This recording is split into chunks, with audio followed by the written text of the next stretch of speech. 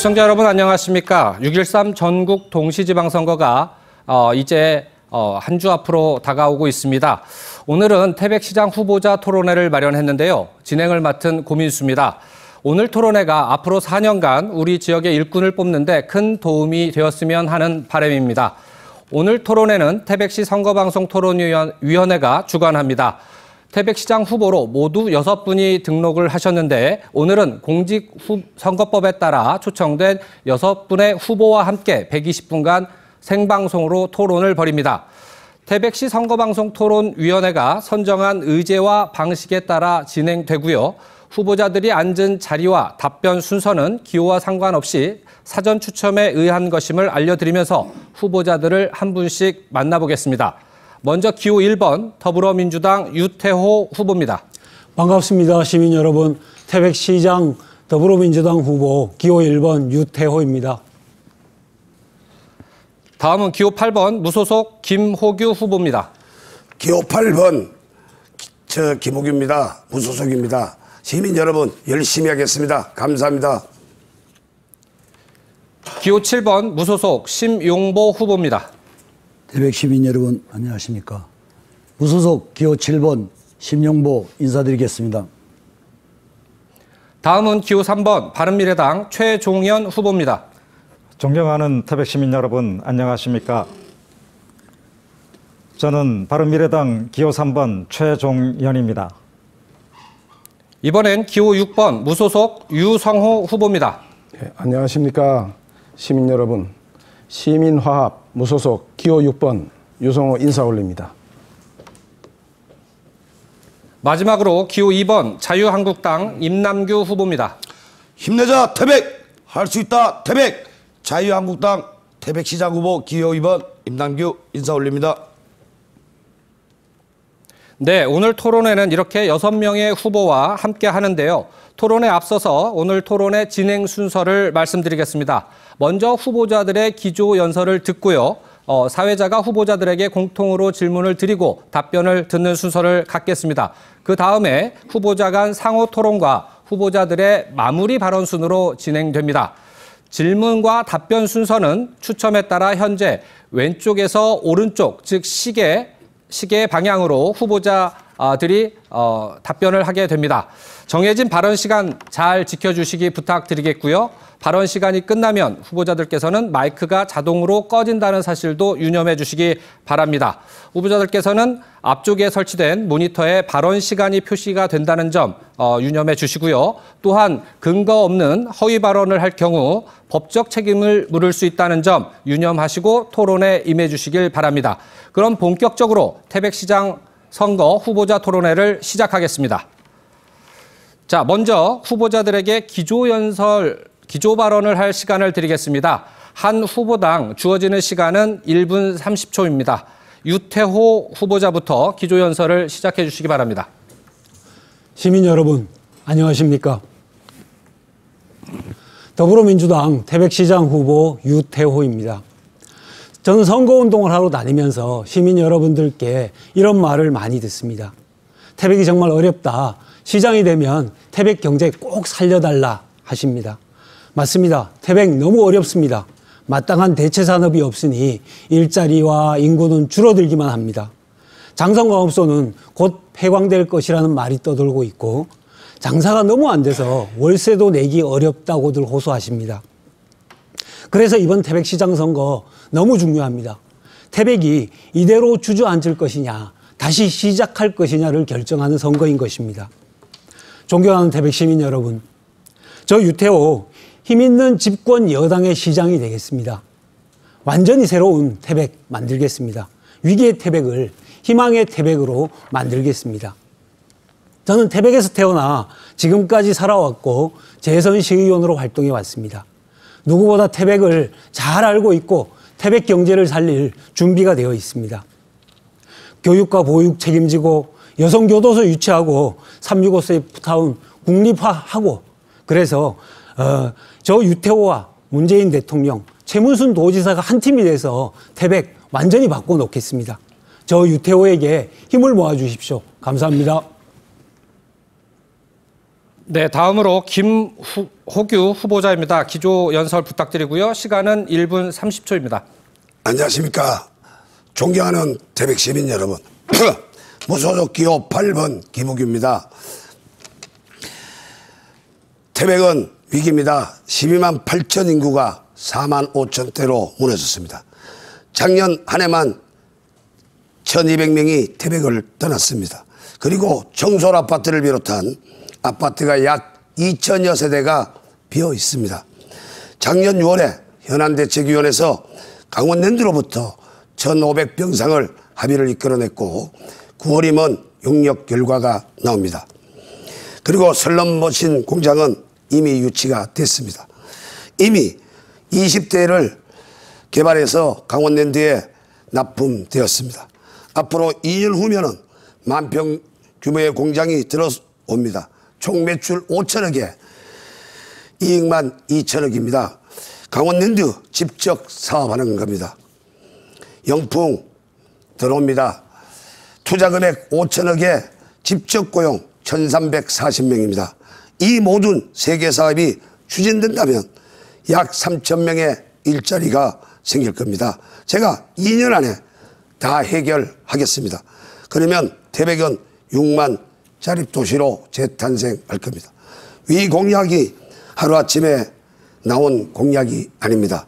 이들 사업은 태백의 마지막 희망으로 생각하고 제가 추진했던 사업입니다. 고맙습니다.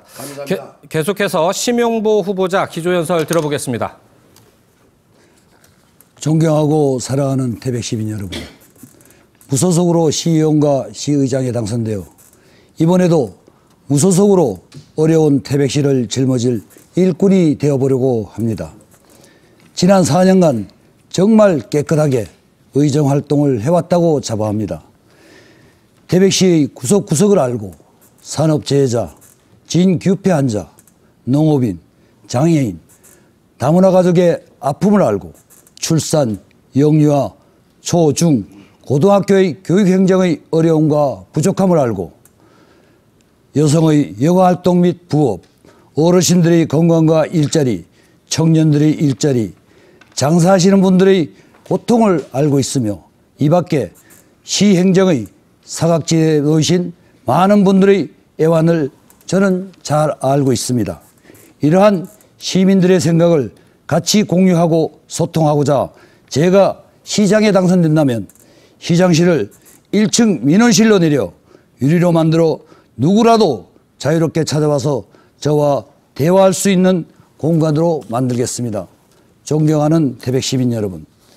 몇몇 후보들처럼 당의 힘이 아닌 순수한 태백 시민 여러분의 위대한 시민혁명 같은 지지로 당당히 태백 시장에 당선되고 싶습니다. 감사합니다. 네, 이번엔 최종현 후보입니다. 역시 1분 30초 드립니다. 존경하는 태백 시민 여러분 안녕하십니까? 바른미래당 기호 3번 최종련입니다. 우리 지역이 어려워진 것은 어제 오늘의 일이 아니었습니다. 하지만 지금 이 순간 그보다 더 심각한 위기 상황이 우리 지역을 엄습하고 있습니다. 아, 그동안 지켜왔던 우리 태백의 지역 정체성이 송두리째 흘릴 위기 상황입니다. 최근 대순 진료의 한 분파인 대진 성주회라는 특정 종교 단체가 민족의 영산 태백산 입구 청원사와 그 일대를 매입하여 어, 태백을 그들의 성지로 만들려고 하고 있습니다. 큰일입니다. 이러한 곳에 그들이 들어온다면 우리 태백의 대외 이미지 손상은 물론 시민들의 종교적 자긍심마저 크게 훼손될 수 있습니다. 그래서 제가 만일 시장에 당선된다면 지자체 차원에 가능한 모든 법적, 행정적 제재를 동원해서 끝까지 그들을 막아내겠습니다. 아, 존경하는 태백 시민 여러분, 우리 태백은 이제 근본적으로 패러다임을 바꿔야 합니다. 천혜의 기후 조건과 자연 환경을 기반으로 은퇴자 유치 정책을 통해 인구 회복, 상권 활성화, 일자리 창출에 선순환 구조를 만드는 힐링 문화 도시로 재탄생시키겠습니다. 이를 위해 시민 여러분께서는 저 최정연에게 힘을 모아 주시길 네, 고맙습니다. 어, 이번에는 유성호 후보의 기조연설 듣겠습니다. 역시 1분 30초 드립니다. 존경하는 태백 시민 여러분, 태백은 지금 인구 감소 위기 도시로 전락, 삶의 희망마저 무너져 가고 있습니다. 이것은 행정 경험도 리더십도 없는 시정 책임자들이 만들어 놓은 결과물입니다. 시민 전체를 위한 시정보다는 자기 자신과 주변 몇몇을 위한 잘못된 시정으로 시를 위기와 절망으로 빠뜨렸습니다. O2, KBS 부지, 풍력 발전 단지 등을 헐값에 매각하고도 시가 갚아야 할 빚이 천억이 넘습니다. 그리고 2천억대가 투자된 365 세이프타운, 고생대 자영사 박물관, 소도 체험 공원 등은 완전한 실패작입니다. 지금까지 활성화 방안도 대안도 없이 방치되어 있습니다. 황지연못 문화광장 조성 사업도 시민 80%가 예산 낭비와 특혜 의혹을 들어 반대했는데도 불구하고 2015년 4월 27일 시의회가 입장을 받고 갑자기 만장일치로 승인했습니다. 영풍 석포 재련소에 우리 태백 시민 400여 명이 생계를 걸고 있습니다. 우리 시의원 두 사람이 즉각 폐쇄하라는 공동 성명서를 발표했다가 뒤늦게 사과했습니다. 지금까지 이런 잘못된 일을 해온 시정 책임자들이 시민들께 사과는커녕 시장 후보로 이 자리에 함께하고 있습니다. 반드시 심판하고 앞으로 나아가야 합니다. 감사합니다. 네, 고맙습니다. 마지막으로 임남규 후보의 기조연설 듣겠습니다. 1분 30초입니다. 존경하고 사랑하는 태백 시민 여러분, 자유한국당 태백시장 후보 임남규입니다. 태백시는 특별한 도시입니다.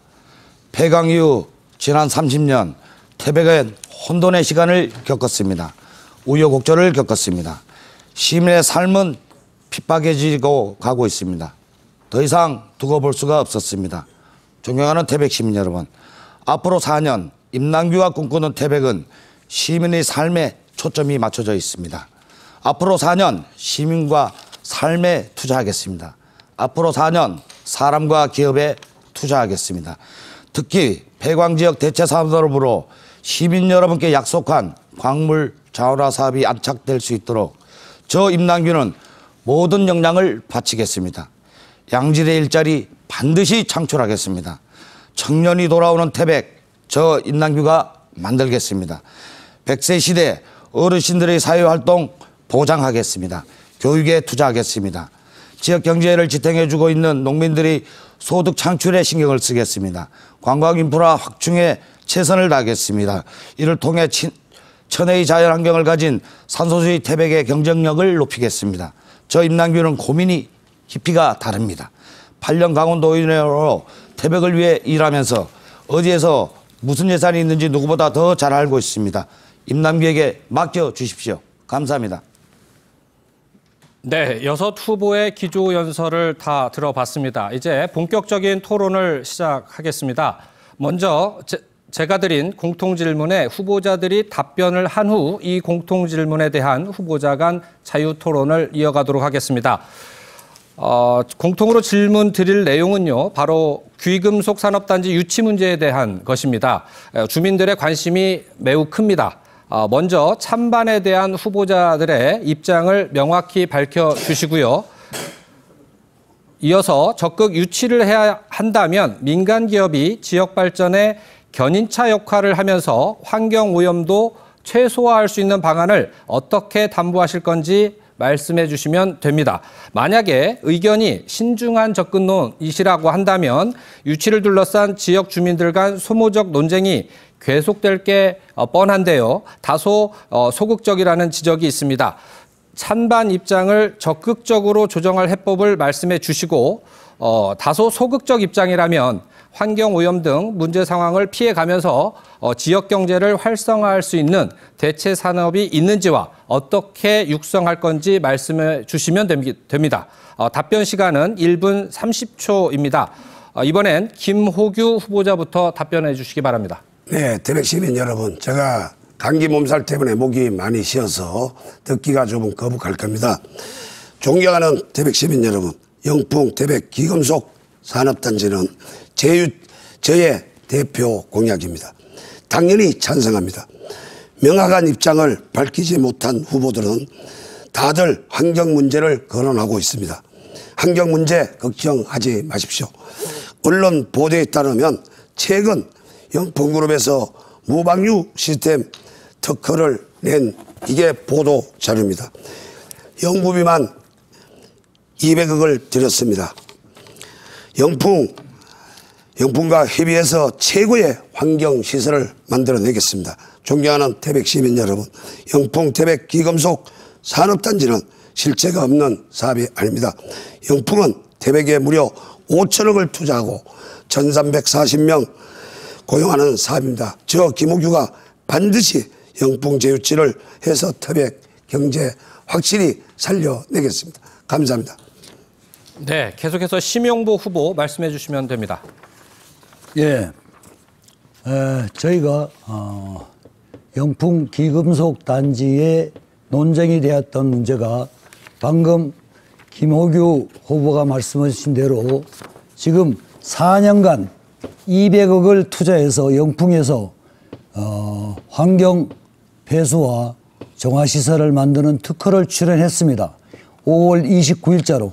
그렇기 때문에 지금까지 저희 의회에서 염려했던 그런 환경 문제는 해결되었다고 봅니다. 그러므로 저희가 여- 어, 염려했던 부분은 환경 문제가 우리 태백 시민에 얼마만큼의 영향을 미치는가를 염려해서 저희가 책상 위에 올려놓고 공론화하자는 했던 거지 반대했던 것은 아닙니다. 그런데 마침 영풍에서 4년간 200억이란 연구비를 투자해서 개발했습니다. 특허를 출원했기 때문에 태백 시민들이 염려하시는 기금속 단지 유치 문제는 오늘 이후로 모든 논쟁이 불식되었으면 합니다. 더 이상의 기금속 영풍 문제에 대해서는 저희 유태희 후보나 저나 더 이상의 논쟁거리가 없다고 생각합니다. 영풍 문제는 더 이상 태백에 받아들이는데 전적으로 저희도 찬성합니다. 네, 이번엔 최종현 후보입니다. 역시 1분 30초 드립니다. 예, 저는 태백 시민들 입장에서 볼 때 일자리 창출을 위해서 영풍을 작년에 유치했었어야 한다고 생각합니다. 그러나 첫 단추를 잘못 꿰므로써 결국 무산되었는데요. 어, 절차와 과정이 투명하지 못했기 때문입니다. 아, 실제로는 슬러지 재처리 공장임에도 불구하고 귀금속 단지라고 속이고 환경 대책 하나 없는 단 몇 장짜리 사업 계획서로 공론화 과정 없이 계약을 체결하려 했기 때문에 실패한 것은 당연합니다. 이제 다시 재유치하려면 엄청난 기회 비용이 발생하고 재유치 자체가 어려워졌습니다. 만일 영풍이 원한다면 저는 시민들에게 모든 과정을 투명하게 공개하는 공론화, 공론화 과정을 거치고 어, 필요하다면 어, 여론조사를 통해서라도 유치 결정을 하겠습니다. 사실 어, 저는 영풍 문제가 왜 지금 이 시점에 이슈가 되어야 하는지 이해가 가지 않습니다.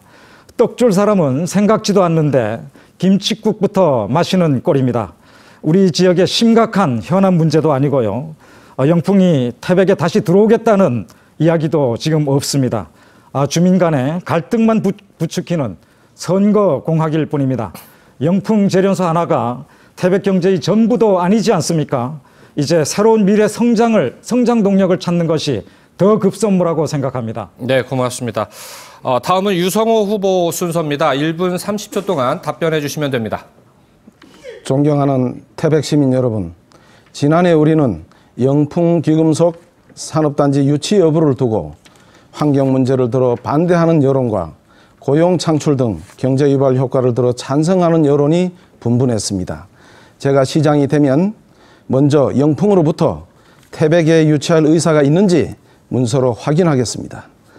그리고 태백에 유치될 귀금속 산업단지에 대해 빅데이터를 놓고 정밀하게 분석, 환경에 미치는 영향, 경제 유발 효과, 고용 창출 이렇게 세 꼭지를 분석해서 숫자와 퍼센트를 가지고 시민들을 모시고 공청회를 시장이 직접 개최하겠습니다.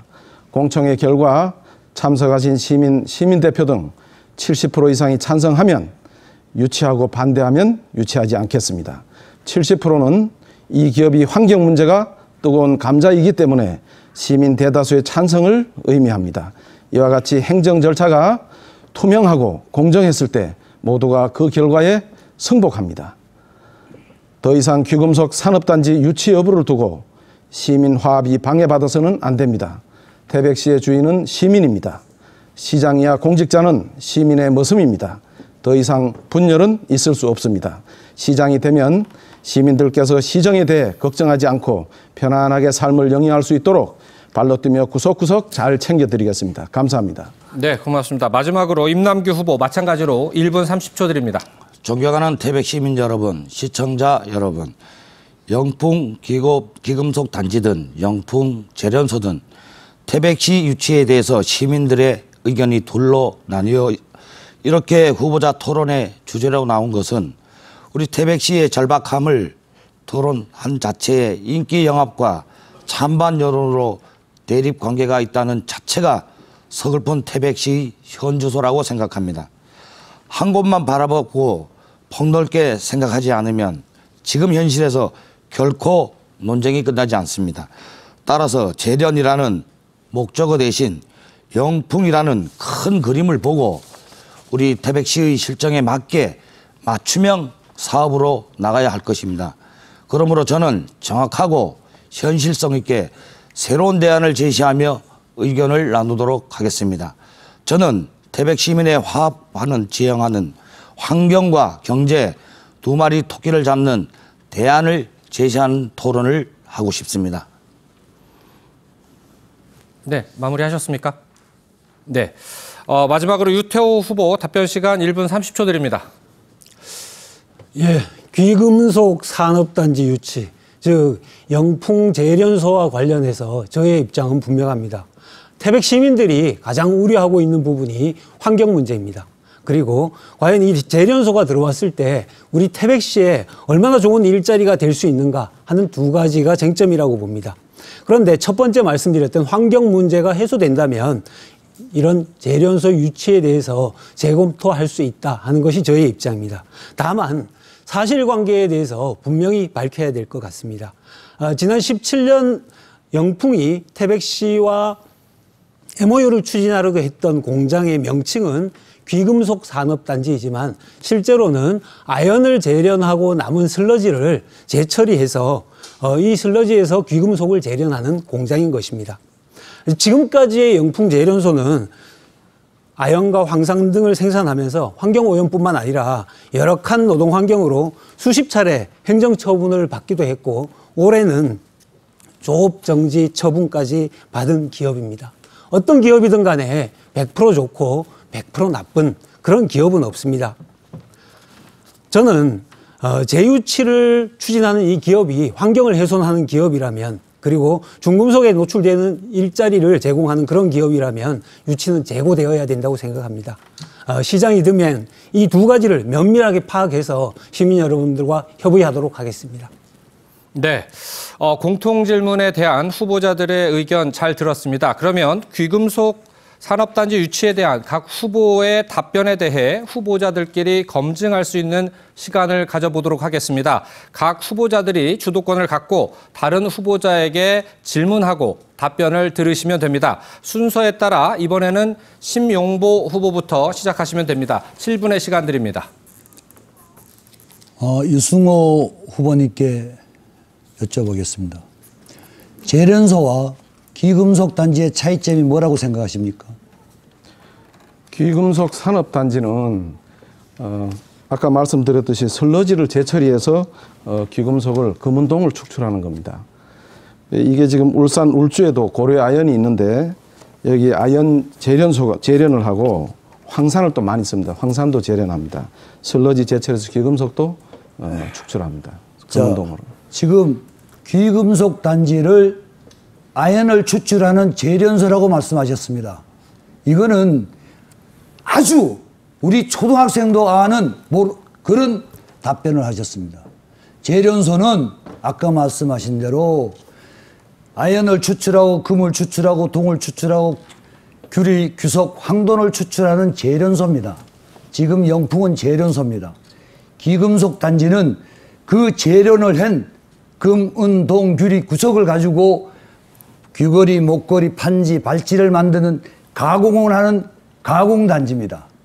지금 태백 시민들이 잘못 알고 계시는 귀금속 단지는 우리가 종로 5가에 가 있는 보석상들, 익산에 익산에 있는 귀금속 단지, 대구에 있는 귀금속 단지를 귀금속 단지라고 말합니다. 지금 여- 유 후보께서 말씀하신 아주 무지에 말씀하신 기금속 단지와 재련소를 혼돌해서 말씀하신 고려 아- 산소는 맞습니다. 아연 어, 영풍의 자회사입니다.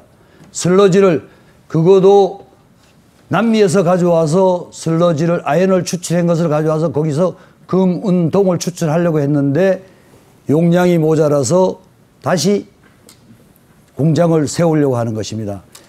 유 후보께서는 재련소와 다른 사람인데 공격을 하시려면은 조금 더 아셔가지고 공격해 주시기를 바라며 김호규 후보님인데 묻겠습니다. 네. 김호규 후보님께서 어, 기금속 단지를 유치, 어, 추, 어, 유치하신다고 하셨는데 네네. 근데 조금 전에 기금속 단지는 청정기업입니다. 네네. 예. 재련소와 틀린 청정기업인데 아까 금년도 5월 29일 날 정화를 환경을 잡는 4년간에 200억을 잡는다는 그 특허 출원이 왜 그것을 설명하신지를 태백에 들어오는 귀금속 단지는 그 특허 출원하고는 아무 관련이 없습니다. 귀금속 단지에는 청정기업이기 때문에 그거는 영풍 현재 1공장, 2공장, 3공장에서 쓰는 그 안에서 필요한 특허 출연에 필요한 기계지, 공정이지 우리 스포츠 산단에 들어오는 귀금속 단지하고는 아무런 관계가 없는 어, 특허인데 왜 그거를 말씀하셨는지를 간단히 말씀해 주시기 바랍니다. 네. 하여튼 뭐 저인데 제가 대표 공약을 어, 질문해 준 데 대해서 감사합니다. 이게 바로 영풍에서 어, 태백시에다가 자료를 낸 겁니다. 여기에 보면은 태백 기금속 산업단지라고 했습니다. 그리고 부가 가치가 3,450억에 고용 인원이 1,340명이라고 영풍이 낸 자료입니다. 그러면 영풍이 태백시에다가 이 자료를 냈을 때 기금속 산업단지라고 영풍이 태백에서 태백에다 태백시청에 낸 자료입니다. 근데도 그 지금 안 믿고 자꾸만 그런 방향으로 간다는 것은 에, 반대를 했기 때문에 합리화시키려고 하는 게 아니냐 그런 생각을 아니 잠깐만요. 해봅니다. 후- 김 후보님, 네네. 제가 말씀드린 그게 아니고 지금 영풍에서 개발한 특허는 지금 영풍 재련소에서 어, 환경을 오염시키는 것을 잡기 위한 특허인데 기금속 단지에는 필요가 없는 특허를 왜 설명을 하신지 그거를 말씀해 달라는 겁니다. 지금 그 영풍에서는 200억을 들여서 환경 문제를 했습니다. 앞으로는 건식이기 때문에 물 한 방울 나가지 않습니다. 아 건신과 습식은 전혀 안 나갑니다. 잠깐만요. 기금속 산업단지는 지금 영풍에서 200억을 들여서 이렇게 지금 무방비 시설이라고 언론 보도에 나온 겁니다. 전혀 문제가 없습니다. 자, 그리고 잠깐만요. 아니, 아니, 영풍에서 됐습니다. 기금속 산업단지라고 이미 여기에다가 용풍에서 낸 자료입니다. 태백시에. 그러면 전혀 염려 자, 안 해도 됩니다. 저 시간 좀 쓰겠습니다. 혹시 심용보 아니, 아니 그게 아니고요. 후보께서 잠깐만. 아니, 아니 그게 아닙니다. 반대를 해가지고 아니 반대가 아니고 합리화시키려고 하는 겁니까? 아니 아니 그게 네. 아니고 지금 말씀드린 거는 지금 건식 말씀하시는데 건식 네네. 습식은 재련을 하는 과정에서 건식과 습식이 쓰이는 그 방법입니다. 재련하는 과정에서 그 아연, 동, 금, 규리, 구석, 비철 금속을 추출하는 과정에서 건식과 습식을 쓰는 그 법- 공법이지 귀금속 단지에는 이런 건식 습식이 쓰이는 공법이 없습니다. 지금 김호 호규 후보님이 말씀하신 모든 용어가 재련소에서 재련을 하는 과정에서 쓰이는 그런 공법의 용어지 귀금속 단지는 귀금속을 세공하는 과정이기 때문에 이 청정하고는 아무런 관계가 없습니다. 아까 말씀드린 대로 저희가 생각했던 거는 재련소가 들어오기 때문에 거기에 대한 환경 문제를 검토하자고 했었고 그것이 5월 29일 날 특허 출원해서 그게 해결이 됐기 때문에 재련소가 들어오든 귀금속 단지가 들어오든 저희는 어떤 업체가 들어와도 받아들일 용의를 검토하자고 말씀드린 겁니다. 그래서 다시 한번 말씀드리겠습니다. 재련소와 기금속 단지는 분명히 구분되어야 됩니다. 태백 시민을 호도하고 분란과 갈등을 야기시키는 업체 유치 문제는 우리 태백시의 지도자들이 정확하게 시민들인데 전달하고 알려드릴 의무감이 그 있습니다. 심용보 어, 의장님이 저 질문입니다. 저 질문. 네네. 좀 이따 저희들 아니. 그저 잠깐 물었으면은 답변할 수 있는 기회를 줘야죠. 답변을 다- 좀 이따 네네. 질문하세요. 시간이 다 됐습니다. 그리고 자. 그러면 영풍에서 이 자료를 태백시에다 내서 기금속 산업단지라고 예, 고맙습니다. 시간이 다 됐습니다. 이번엔 최종현 후보께서 주도권을 갖고 다른 후보자에게 질문하고 답변 들으시면 됩니다. 7분 시간 드립니다. 네, 유태호 후보님에게 질문하겠습니다. 어, 유태호 후보는, 후보님은 제가 알기로는 젊은 시절부터 어, 민중당 또는 어, 민노당 이런 진보적인 정당에서 활동을 해왔고요. 어, 진보 정당은 환경 문제를 대단히 중요시하는 정, 이념적 정, 어, 정체성을 가지고 있습니다. 어, 그래서 아마 어, 영풍이 어, 들어오는 것을 환경을 문제 삼아서 어, 대단히 치열하게 반대를 한 것으로 알고 있습니다.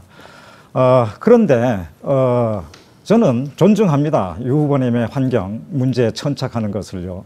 어, 그런데 나중에는 영풍 어, 석포 시민들에게 사과까지 하셨어요. 어, 이것은 어, 소신을 어, 접은 겁니까? 아니면은 어, 뭔가 상황이 변화가 온 겁니까? 물어보고 싶습니다. 예, 우리 최정년 후보께서 사실을 잘못 알고 계신 것 같습니다. 먼저 영풍을 극렬하게 반대했다 하는 표현은요, 어, 그때 당시에 17년 3월 달에 태백시와 영풍이 MOU를 체결하려고 했을 때 그 현장에서 반대를 한 부분들은 구문소 주민들이 들어가서 MOU 체결 자체를 반대를 했고요. 그래서 그 MOU가 무산된 겁니다. 그리고 무산된 이후에 어, 현안대책위원회에서 영풍이 이미 다 유치가 된 것이냐 온 태백시 전체에 현수막으로 도배를 하고 아, 예. 그래서 어, 그런데 아, 그러니까 왜 제가 저기 답변을 맞아드리겠습니다. 사과를 하셨죠? 자, 아니요. 그 사과를 한 부분은 그러니까요. 잘 말씀 들어보십시오. 그 이후에 현수막을 제거한 이후에 어, 심영보 의장님 그리고 저 그리고 홍성욱 도의원 세명이 성명을 발표한 게 있습니다. 물론 어, 그때 반대 성명에 서명을 한 건 사실이지만 그 이후에 바로 아 그거는 선언적인 의미다. 그리고 네. 정말 우리가 저기, 우리가 의미 우리 우리가 주장했던 거는 어, 유- 진- 유 후보님, 제대로 제- 제 환경. 문제와 어, 태백의 유 후보님. 태백의 유 후보님. 어, 일자리 제- 문제를 됐습니다. 어느 것이. 태백에 더 득이 되는지를 면밀히 검토한 이후에 유 후보님. 유치를 결정하자 하는 기자회견도 한 네, 사실이 서명을 있습니다. 예. 하셨다고 인정하셨는데요. 그 서명이 봉화 아, 군의회와 함께 동조한 서명으로 알고 있습니다. 어, 저는 어, 유태호 후보님이 봉화군 시 군의원이었는지 태백시 시의원인지 어, 대단히 어, 태백 시민으로서 자존심 상하는 일이고요. 어, 또 한편에 봉화 시민 석포 시민들에게 어, 사과를 한 것은 우리 태백 시민들의 자존심을 대단히 무너뜨린 어, 행위다. 저는 이렇게 보는데요. 지금 유태호 자, 후보님의 그- 그 영통 성명서에 문제는 서명한 정확하게 내용은 찬성입니까 반대입니까? 그 성명서에 서명한 내용은 무르의 날을 아니요. 기념해서 아니요 지금- 그 질문을 했으니까 그 질문에 지금- 대한 대답을 제가 드리는 겁니다. 무르의 날 기념해서 낙동강 수계에 있는 의원들이 아 석포 재련소가 이렇게 심각한 환경 오염을 일으키고 있으니까 이 문제에 대해서 해소하는 그런 성명을 내자 해서 거기에 동참을 했던 거고요. 여전히 지금 영풍에 가서 환경 문제가 사과를 한 부분은 것이죠. 영풍에 가서 사과를 한 부분은 아 영풍에서 그때 생존권 투쟁이 있었습니다. 그 생존권 투쟁 당시 영풍이 태백이 생활권이다 보니까 태백 시장에 물건도 사러 오고 많이 그럽니다. 그런데 어, 우리 시장 상인들이 직접적인 피해를 보고 있기 때문에 그거는 아 우리가 본래의 뜻은 그런 게 아. 그렇다면은 영풍을 아, 폐쇄하라는 뜻이 됐습니다. 아니라 아, 유 후보님 환경 어, 문제를 이 해결하는 후보님, 그리고 제 영풍의 들어보세요. 주민들도 이런 좋은 환경에서 살아가기를 바라는 아, 뜻에서 그 거기 가서 분명히 사과를 했고요. 예, 이해를 네, 시켰고 그리고 우리 제 태백. 시민들의 이해관계에 어, 득이 되는 쪽이니까 뭐 사과할 건 해야죠.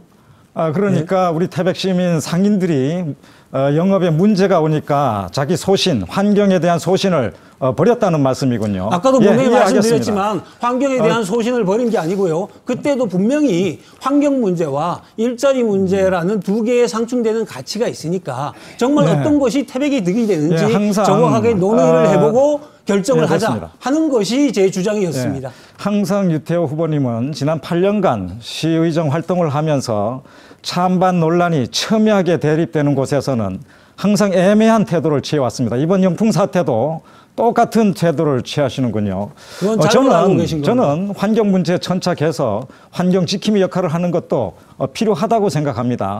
아, 그런데 그렇다면 끝까지 배치를 던져서라도 이 환경을 지킬 용의는 없으십니까? 잘못 알고 계신다니까요. 제가 얘기하듯 답변하고 엉뚱하게 자꾸 말씀을 하시는데 제가 환경 문제에 천착해서 무조건 영풍을 반대했다 하고 말씀하셨는데 그렇지 않다고 제가 분명히 말씀드렸고요. 환경 문제든 정말 일, 태백에서 절실하게 필요한 일자리 문제든 어떤 것이 우리 태백이 득이 되는지 면밀하게 검토하고 공론화 어, 자, 최 후보님께서도 알겠습니다. 그런 말씀하셨죠. 공론화해서 네. 충분히 논의해 보자. 그리고 그것이 태백이 득이 된다면 그것으로 결정을 하면 된다. 네, 알겠습니다. 그 하는 것이 제 이후에 주장입니다. 영풍의 MOU 체결이 무산되었을 이, 그 이후에 어, 유태호 의원님은 시의장으로서 어, 태백 시민들과 활발한 어떤 공론화 과정을 한 번 한 번이라도 거쳐본 적이 있습니까? 그 공론화를 요구를 했고요. 그건 공식적으로 기자회견을 말씀이죠? 통해서 요구를 했습니다. 그리고 그 당시에 시정의 책임자는 시정이, 시장이었고 시장이 시장이 공론화를 주도할 수 없습니까? 시장이 영풍을 유치하려고 했고요. 그러면 그 시장이 책임을 지고 거기에 대해서 설명을 하고 것을 논의를 해야죠. 시장에게 미루지 마시고요. 미루는 게 아니고요. 그 시의회도 의견을 주도적으로 기자회견을 여론을 수렴해서 적극적으로. 대처, 대처하는 것이 어, 시의회의 고유 어, 권한이라고 생각합니다. 의무라고 생각합니다. 아, 그럼에도 불구하고 시의회도 이 문제를 방기해버렸고요. 더구나 아, 시 집행부는 아, 이것을 아까 말씀드렸듯이 첫 단추를 무리하게 잘못 깨므로써 우리 지역의 귀중한 일자리를 한순간에 날려버린 안타까운 일이 영풍 문제입니다. 이제 더 이상 아, 영풍이 우리 지역의 커다란 현안으로 대두되지 않기를 바랍니다. 이상입니다. 네, 고맙습니다. 유성호 후보 마찬가지로 7분 드립니다. 예, 김호규 후보에게 묻습니다. 요 영풍 금속 재련소 유치를 두고 작년에 많은 논란이 있었고 프랭카드도 도배를 하고 있었는데요. 요 유치를 하게 된 최초 그 발단이 어떻게 되는 건지 좀 말씀해 주시죠. 아, 네. 지금 그 스포츠 상단이 에, 370억을 들여서 만들었습니다. 근데 거기에 들어올 업체가 하나도 없습니다. 그런데 그러면 우리가 지금 농공단지 자체가 우리 철암이나 장명사 뒤에는 거의 다 피어 있습니다.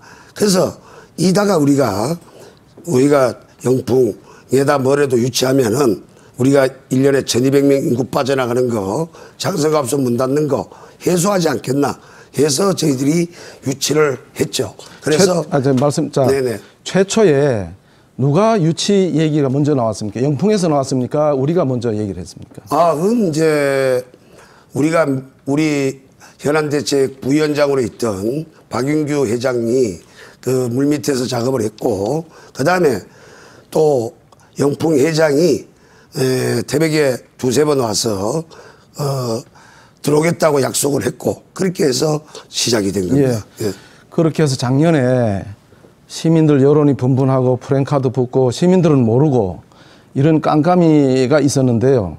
이런 게 이제 기업이 시에 유치될 때는 그런 절차를 영풍으로부터 문서로 확인을 하고 그 다음에 분석하고 시민들 모시고 공청회를 거치고 이런 행정 절차를 거쳤으면 작년에 벌써 유치됐든 안 됐든 이 결론이 났을 건데 너무 늦은 감이 있다고 생각합니다. 아닙니다. 그 우리 유승호 후보께서는 잠깐만 행정 공무원 많이 겪었다고 했습니다. MOU가 뭡니까?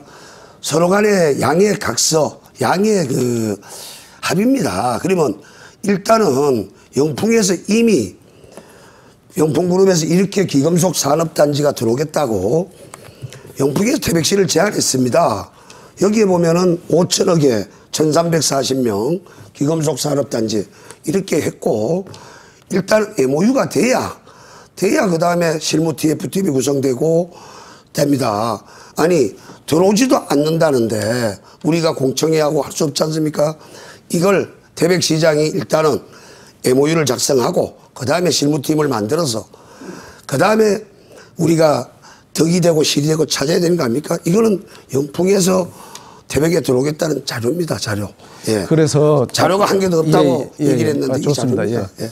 그래서 작년에 그렇게 할 때 영풍에서는 태백에 들어오겠다는 의사를 문서로 던져주고 태백에서는 그걸 받아서 절차를 진행해서 이 시민들 모시고 공청회도 하고 이런 절차를 거쳐서 오케이 했으면 작년에 다 이미 끝난 문제인데 작년에 수많은 시간을 다 허비하고 올해 다시 이걸 놓고 실체가 지금 없지 않습니까? 아, 그- 문서로 확인됐습니까? 거기서 말씀드리겠습니다.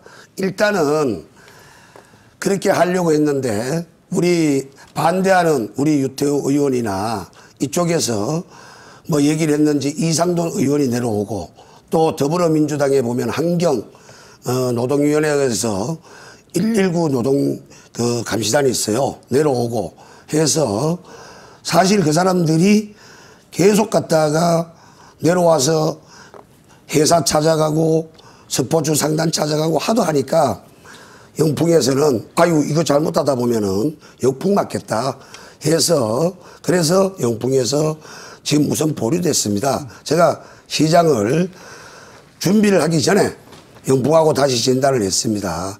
자기네는 1340명 5천억짜리는 분명히 태백이 원하면 들어오겠다 하는 걸 약속을 했습니다. 그리고 환경 문제 200억을 들여서 오염 한 개도 안 들고 물 한 방울 안 내려 보낼 수 있는 그런 시스템까지 다 만들었습니다. 이상 없습니다. 예.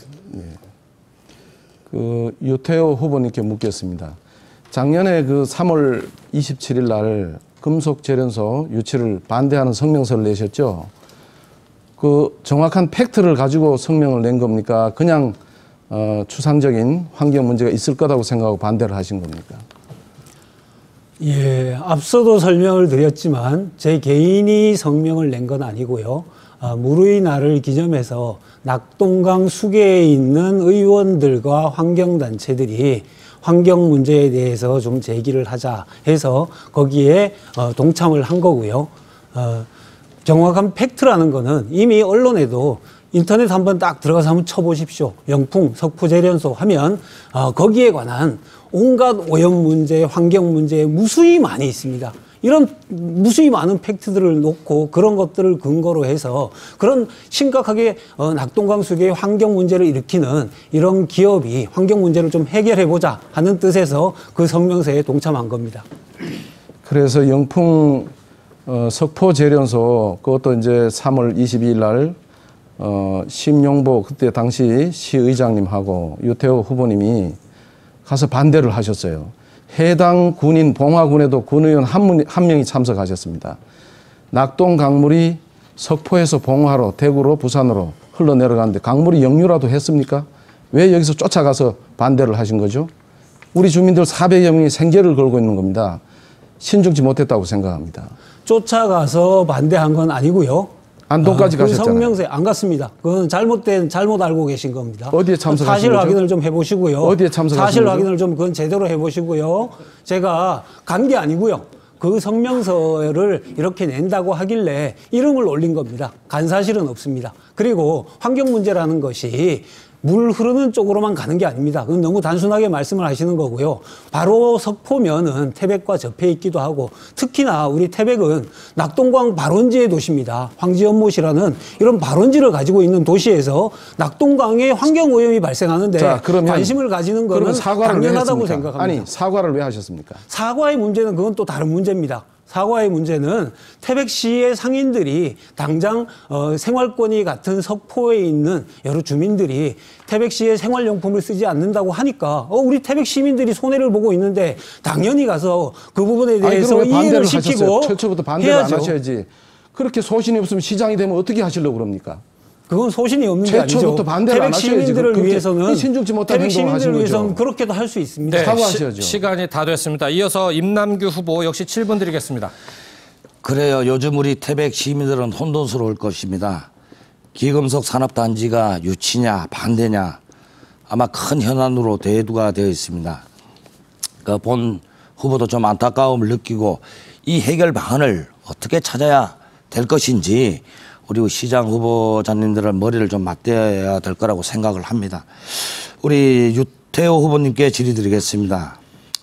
유태호 후보는 그 영풍 그 유치 반대에서 환경단체와 함께 상당한 반대 활동을 하셨다고 저는 그 태백 시민님 거의 다 알고 있- 있는 것으로 알고 있습니다. 유태호 후보님 그렇다면 그 영풍에서 꼭 이 재련소 또 영풍에 또 다른 사업을 하고 있는지 혹시 알고 계십니까? 어, 금방 우리 임남규 후보께서 말씀하신 상당한 반대 운동 하는 것이 어느 정도를 의미하는지는 모르겠는데 분명히 반대를 표현했던 거는 낙동강 수계 의원들이 무르이날 기념해서 환경 문제 심각하게 제기되고 있는 그 환경 문제를 해소하고자 하는데 동참하고 거기에 이름을 올린 게 그게 납니다. 그리고 그 직후에 어, 우리 그때 서명에 함께 동참했던 우리 두 분 의원님, 저까지 세 명이 같이 해서 아 이렇게 환경 문제가 심한 유태호 후보님 그게 아니고 제 질문은 유치가 된다고 제 하는데 질문은 그게 아니고 영풍에서 기금속 단지 재련소 외에 다른 사업을 하고 있는 것을 알고 계시냐 그것을 제가 질문을 드렸습니다. 예. 다른 것도 있습니다. 영풍 문고도 있고 뭐 다양한 대기업이니까 그 위에 계열사들이 많이 있는 걸로 알고 있습니다. 그렇습니다. 영풍은 23개의 계열사를 거느리고 있는 거대 그룹입니다. 그 중에서도 영풍 재련소도 있고 고려해안 등 대표적인 기업들이 많이 있습니다. 23개 계열사 중에 뭐 시그네스, 우리 태백에 적합한 어, 시그네스티스, 인터플렉스 등 그 소재 산업도 많이 있고요. 영풍 문고도 또 있습니다. 또 전지 산업과 전자 뭐 폭넓은 사업을 하고 있습니다. 영풍과 협의해서 차세대 성장 동력인 그 전기 자동차 전지 축전지 제조 회사도 있습니다. 예, 그리고 켐코나 소재 산업도 있습니다. 시그네틱스, 인터플렉스, 펌프 제조 업체인 영풍 정밀 등 많은 폭넓은 협의를 할 수도 있었을 것입니다. 그런데 이런 부분에서 혹시 접근하거나 협의를 한 부- 부분은 있습니까? 태백이 폐광이 되고 난 이후에 한 20년, 30년 가까이 제조업을 유치하기 위한 노력들을 많이 해왔습니다. 그러나 현실적으로 그 폐광을 대체할 만한 기업이 유치되지 못한 여러 가지 이유들이 있습니다. 거기에는 물류나 인력, 다양한 여건들이 있었고요. 영풍에서 태백에 들어오고자 했던 건 금방 우리 임남규 후보께서 말씀하신 그런 전자나 뭐 다른 이외의 여타의 그런 제조업이 아니고 알겠습니다, 알겠습니다. 그런데 제- 금운동을 재련하는 기업이었기 씨, 때문에 그것이 지금까지 환경 문제가 있다고 때문에 제가 말씀드립니다. 시민을 대표하는. 시의원님이기 때문에 굳이 기금속 단시 재련소 말고도 영풍에서 23개라는 거대 그룹의 계열사가 많이 있습니다. 그러면 다각도로 시의원이기 때문에 우리 시민의 일자리 창출과 경제 회생을 위해서 노력을 했어야 되는데 한 가지만 보고 왜 그 외의 것은 못 봤나 이런 부분을 좀 지적드리고 싶은 말에서 어, 생각에 말씀드렸고요. 저는 이런 사업체를 영풍과 협상을 해서 태백시에 협상 그 유치해야 된다고 생각합니다. 우리 유태호 의원 뭐 어떻게 생각하십니까? 글쎄요, 뭐 좋은 뜻이라고 생각합니다. 그런 기업들이 태백에 들어온다면 저도 뭐 적극적으로 찬성하고 유치에 동참할 의사가 있습니다. 그래요. 앞으로 하나만 보지 말고 그 외의 것도 좀 보면서 특히 우리 시민의 대표자들은 그렇게 해야 되지 않을까 생각해서 질의를 드렸습니다. 다음 우리 김호규 후보님께 질문 드리겠습니다. 네. 김호규 후보님은 그 영풍 유치에 적극적으로 그 찬성을 보이셨습니다. 그 반대만을 입수하는 특정 부류와는 달리 예, 역동적으로 추진에 데 대해서는 감사의 말씀을 드리겠습니다. 또 제가 그 설명한 이 대안에 대해서 어떻게 생각을 하십니까? 네, 우리 영풍은 태백 시민들이 죽기를 각오하고 유치를 해야 됩니다. 이 부분을 우리가 아무리 표로 의식을 한다고 해서 지금 애매모호한 지금 후보들이 답변한다는 것은 저는 바람직하지 않다고 봅니다. 그리고 에, 지금 뭐 더불어민주당 어, 지금 힘 있는 후보라고 얘기했던 유태우 후보도 더불어민주당의 119라는 환경 단체가 있습니다. 국회에. 그 사람들인데 연락을 해서 내려오고 이렇게 해서 지금 서포 재련소까지 쑥밭을 만들어 놨습니다. 그래서 석포가 지금 20일 영업 정지 받으면은 6개월 문을 닫습니다. 그러면 태백에 있는 사람들이 한 5, 600명이 거기를 가서 벌어먹고 있습니다. 그리고 2,400명이 태백의 상권을 가지고 있습니다. 정말 안타깝습니다. 예, 잘 알겠습니다. 태백이 성장하고 발전하기 위해서는 반드시 열린 사고와 넓은 시야로 냉철하게 판단해야 합니다. 고정관념에 빠져 시민 여러분을 혼란스럽게 하면 안 됩니다. 여러 의견이 많고 혼란스러울 때 시장 후보로서 태백 시민 여러분께 나아가야 할 방향을 정확하게 제시해야 합니다. 그래야 시장 후보로서 자격이 있습니다. 저는 태백 시장이 된다면 모든 가능성을 열어놓고 영풍과 협의하여 유망 업체, 미래 성장이 가능한 큰 업체를 우리 태백시에 실질적인 도움이 될 수 있는 업체를 반드시 유치하겠습니다. 이것이 저의 영풍 산업에 대한 종합적인 의견입니다. 네, 고맙습니다. 이번엔 유태호 후보 순서입니다. 7분 동안 주도권을 갖고 다른 후보에게 질문해 주시기 바랍니다. 예, 먼저 우리 임남규 후보께 간단한 질문 하나 드리겠습니다. 아, 좀 전에 모 후보께서 어, 스포츠 산단에 아무런 기업이 들어올 예정도 없고 그렇다. 그래서 영풍을 유치를 해야 된다 하는 그런 논리로 말씀을 하셨는데 우리 임남규 후보의 공약 중에 광물 자원화 사업이란 공약을 내거신 게 있습니다. 그것은 기존에 강원도와 석공, 광해관리공단에서 MOU를 체결하고 기 예산까지 확보가 된 경석 자원화 사업 이 어, 이미 계획돼 있었고 아직 사- 완공되지 않은 스포츠 산단이지만 예산까지 잡혀 있고 그곧 완공이 되면 바로 사업을 시작하는 걸로 알고 있습니다. 그때 어, 그 당시에 도의원으로 활동을 하셨고 지금도 어, 그 사업의 그 경석 자원화 사업의 확대된 형태의 광물 자원화 사업이랑 공약까지 내거셨는데 어, 그 사업이 스포츠 산단에 어, 입주를 함으로 인해서 태백에 얼마나 큰 도움을 줄 수 있는지 그리고 어, 실제로 그런 사실들이 도의원 하면서 예산도 같이 확보를 하셨고 한데 그 사실을 확인해 줄 수 있는지 여쭤보고 싶습니다. 그래요. 지금 그 영포 기금속 관련한 예, 질문 시간인데 예, 제 공약 제 1 공약입니다. 광물 자원화 사업이 제 1 공약입니다. 본 의원이 그 당시 예, 최문순 에, 지사하고 에, 우리 폐광 지역을 어떻게 하면 살릴 수 있을까? 그 스포츠 산단 과정부터 돌아가야 됩니다. 저희 태백시에서 스포츠 산단을 유치하기 위해서 에, 정부에 두 번이나 에, 투자 심사를 받았습니다. 근데 200억 이상 됐을 때는 틀림없이 정부의 투자 심사를 받아야 되는데 당시에 태백시 예산이 120억이 들어가게 되어 있었습니다. 그래서 정부에서 태백시 재정도 어려운데 제가, 제가 어려운데 거는, 제가 왜 여쭤본 거는 이 120억까지 스포츠. 산단이 두 번 반려를 아니, 정확하게 받았습니다. 좀 예, 예, 제 질문의 취지를. 좀 두번 이해를 반려를 하시고 받고 대답을 답변을 주셨으면 좋겠습니다. 예, 본- 다시 한번 제가 여쭤보겠습니다.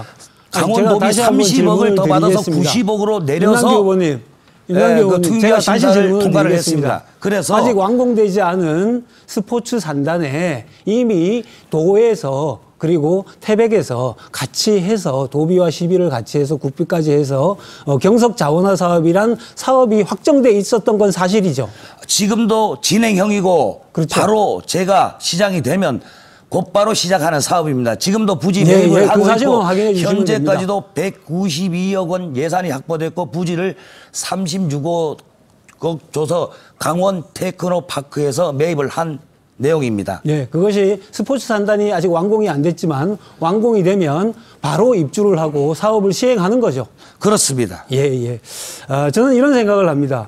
아, 영풍과 관련해서 물론 지역에 폐광되고 난 이후에 정말 일자리가 필요하고 대체할 산업들이 필요했던 것이 절실했던 거죠. 그래서 환경 문제가 좀 있긴 하지만 이것이 태백에 들어와서 정말 일자리도 새롭게 만들어내고 이런 부분이 더 크다면 저는 충분히 유치도 할 수 있다는 생각을 합니다. 하지만 지금 현재의 상태는 영풍에서 다시 태백에 들어오겠다라고 한 것도 아니고 어, 상공회의소에서 태백 상공회의소에서 아 이걸 재유치하는 공약을 내걸었으면 좋겠다 하는 거 하나만 가지고 그것을 근거로 해서 지금 여기서 논란을 벌이고 있는데 이건 너무 소모적이 아닌가 하는 그런 생각을 합니다. 그래서 오히려 아 영풍이라는 것밖에 태백에 대체 산업이 없는가 저는 그렇지 않다고 생각합니다.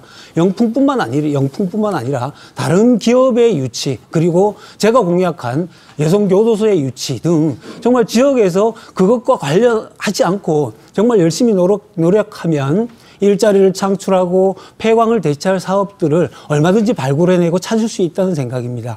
그, 그 여러 가지 중에 하나가 태백에서 정말 사람들이 떠나는 큰 이유 중에 하나가 저는 교육이라고 생각합니다. 이 교육과 관련해서 우리 임남규 후보께 질의 한번 드리겠습니다.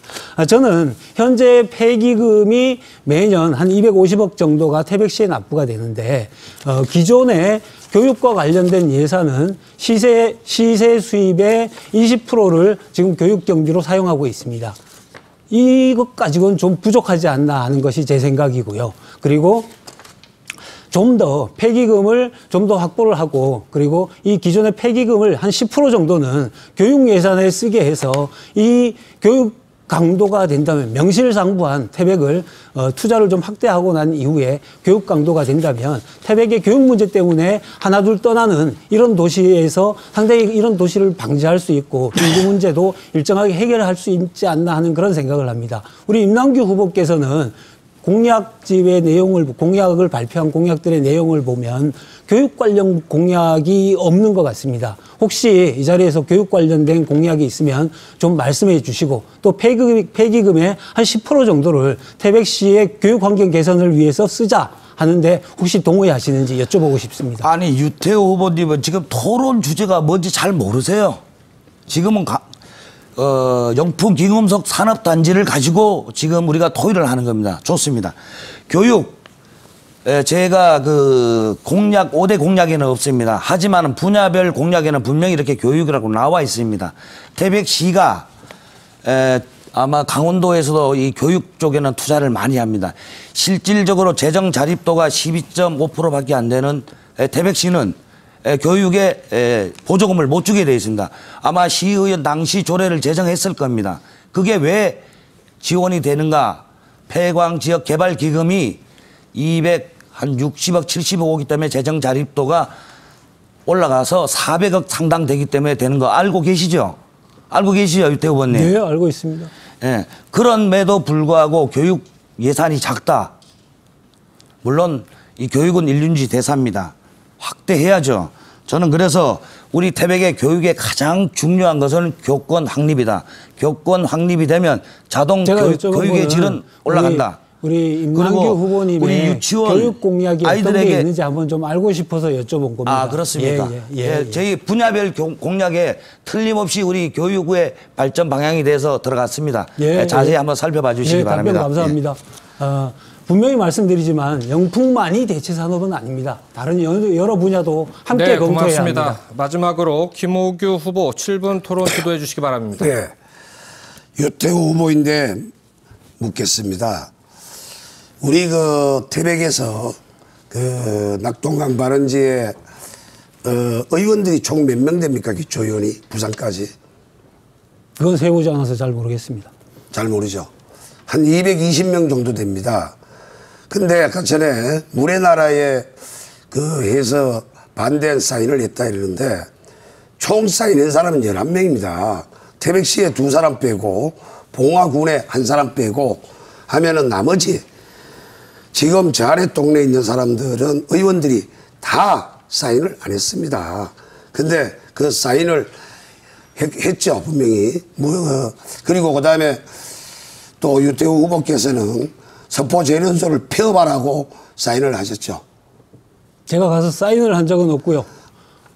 사인을 안 이름을 했습니까? 올리라고 아니. 이름을 올리는데 동의를 했습니다. 그러면 분명히 그 서포 재련소가 지금 우리 태백에 기하는 게 얼마라고 알고 있죠. 제가 아까도 말씀드렸지만 아니, 그거 그것만 얘기하세요. 그 지금 한 재련소의 2,400명이 폐업은 지금 태백 사람이 약 5, 600명이 거기서 벌어먹고 살고 있습니다.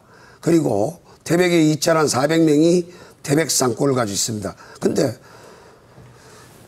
지금 석포를 문을 닫으라 그랬습니다. 50년 역사. 그 사람들은 강 하나 두고 그 2,400 마을에 살고 있으면 잘 먹고 잘 살아요. 왜 근데 그 나무 그 시, 그 군에 잘 먹고 잘 사는까지 폐업하라 그래요?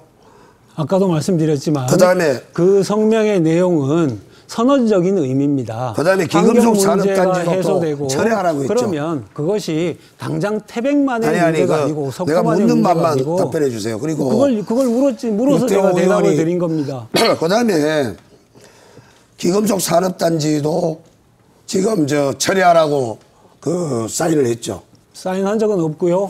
어, 똑같은 성명서에 여기에 이 있습니다. 사인이 여기 보면은 기금속 산업단지 태백에 들어오는 걸 처리하라 하고 요 이름이 있습니다. 여기 총 인원이 11명입니다. 의원이 약 200명이 넘는 명 중에 태백에 두 사람을 넣으면은 나머지 잘에 우리 서포물이 태백으로 넘어오지 않습니다. 그래서 우리 유태호 의원께서는 선거 때 된 게 보면은 뭐든지 반대 반대 반대한다 그래요. 의원 생활 7년 동안에 유태호 의원이 태백시에다가 정말로 나쁜 말로 그 어려운 화장실 하나라도 유치 하나 했습니까? 반대만 하고 어? 여기 사인한 거 있잖아 여기 여기 유태호 의원이 거기 문, 문서를 잘 석포- 보십시오. 거기 사인이 어디 있습니까? 아니, 이름만 올라가 있고요. 이름- 그리고 제가 하나도 그럼 한이게 없다고 말씀을 하시는데 이 자체를 그렇지 않고요. 아니 아니 이거를 문서도 보지 않고 그냥 사인을 했단 말입니까?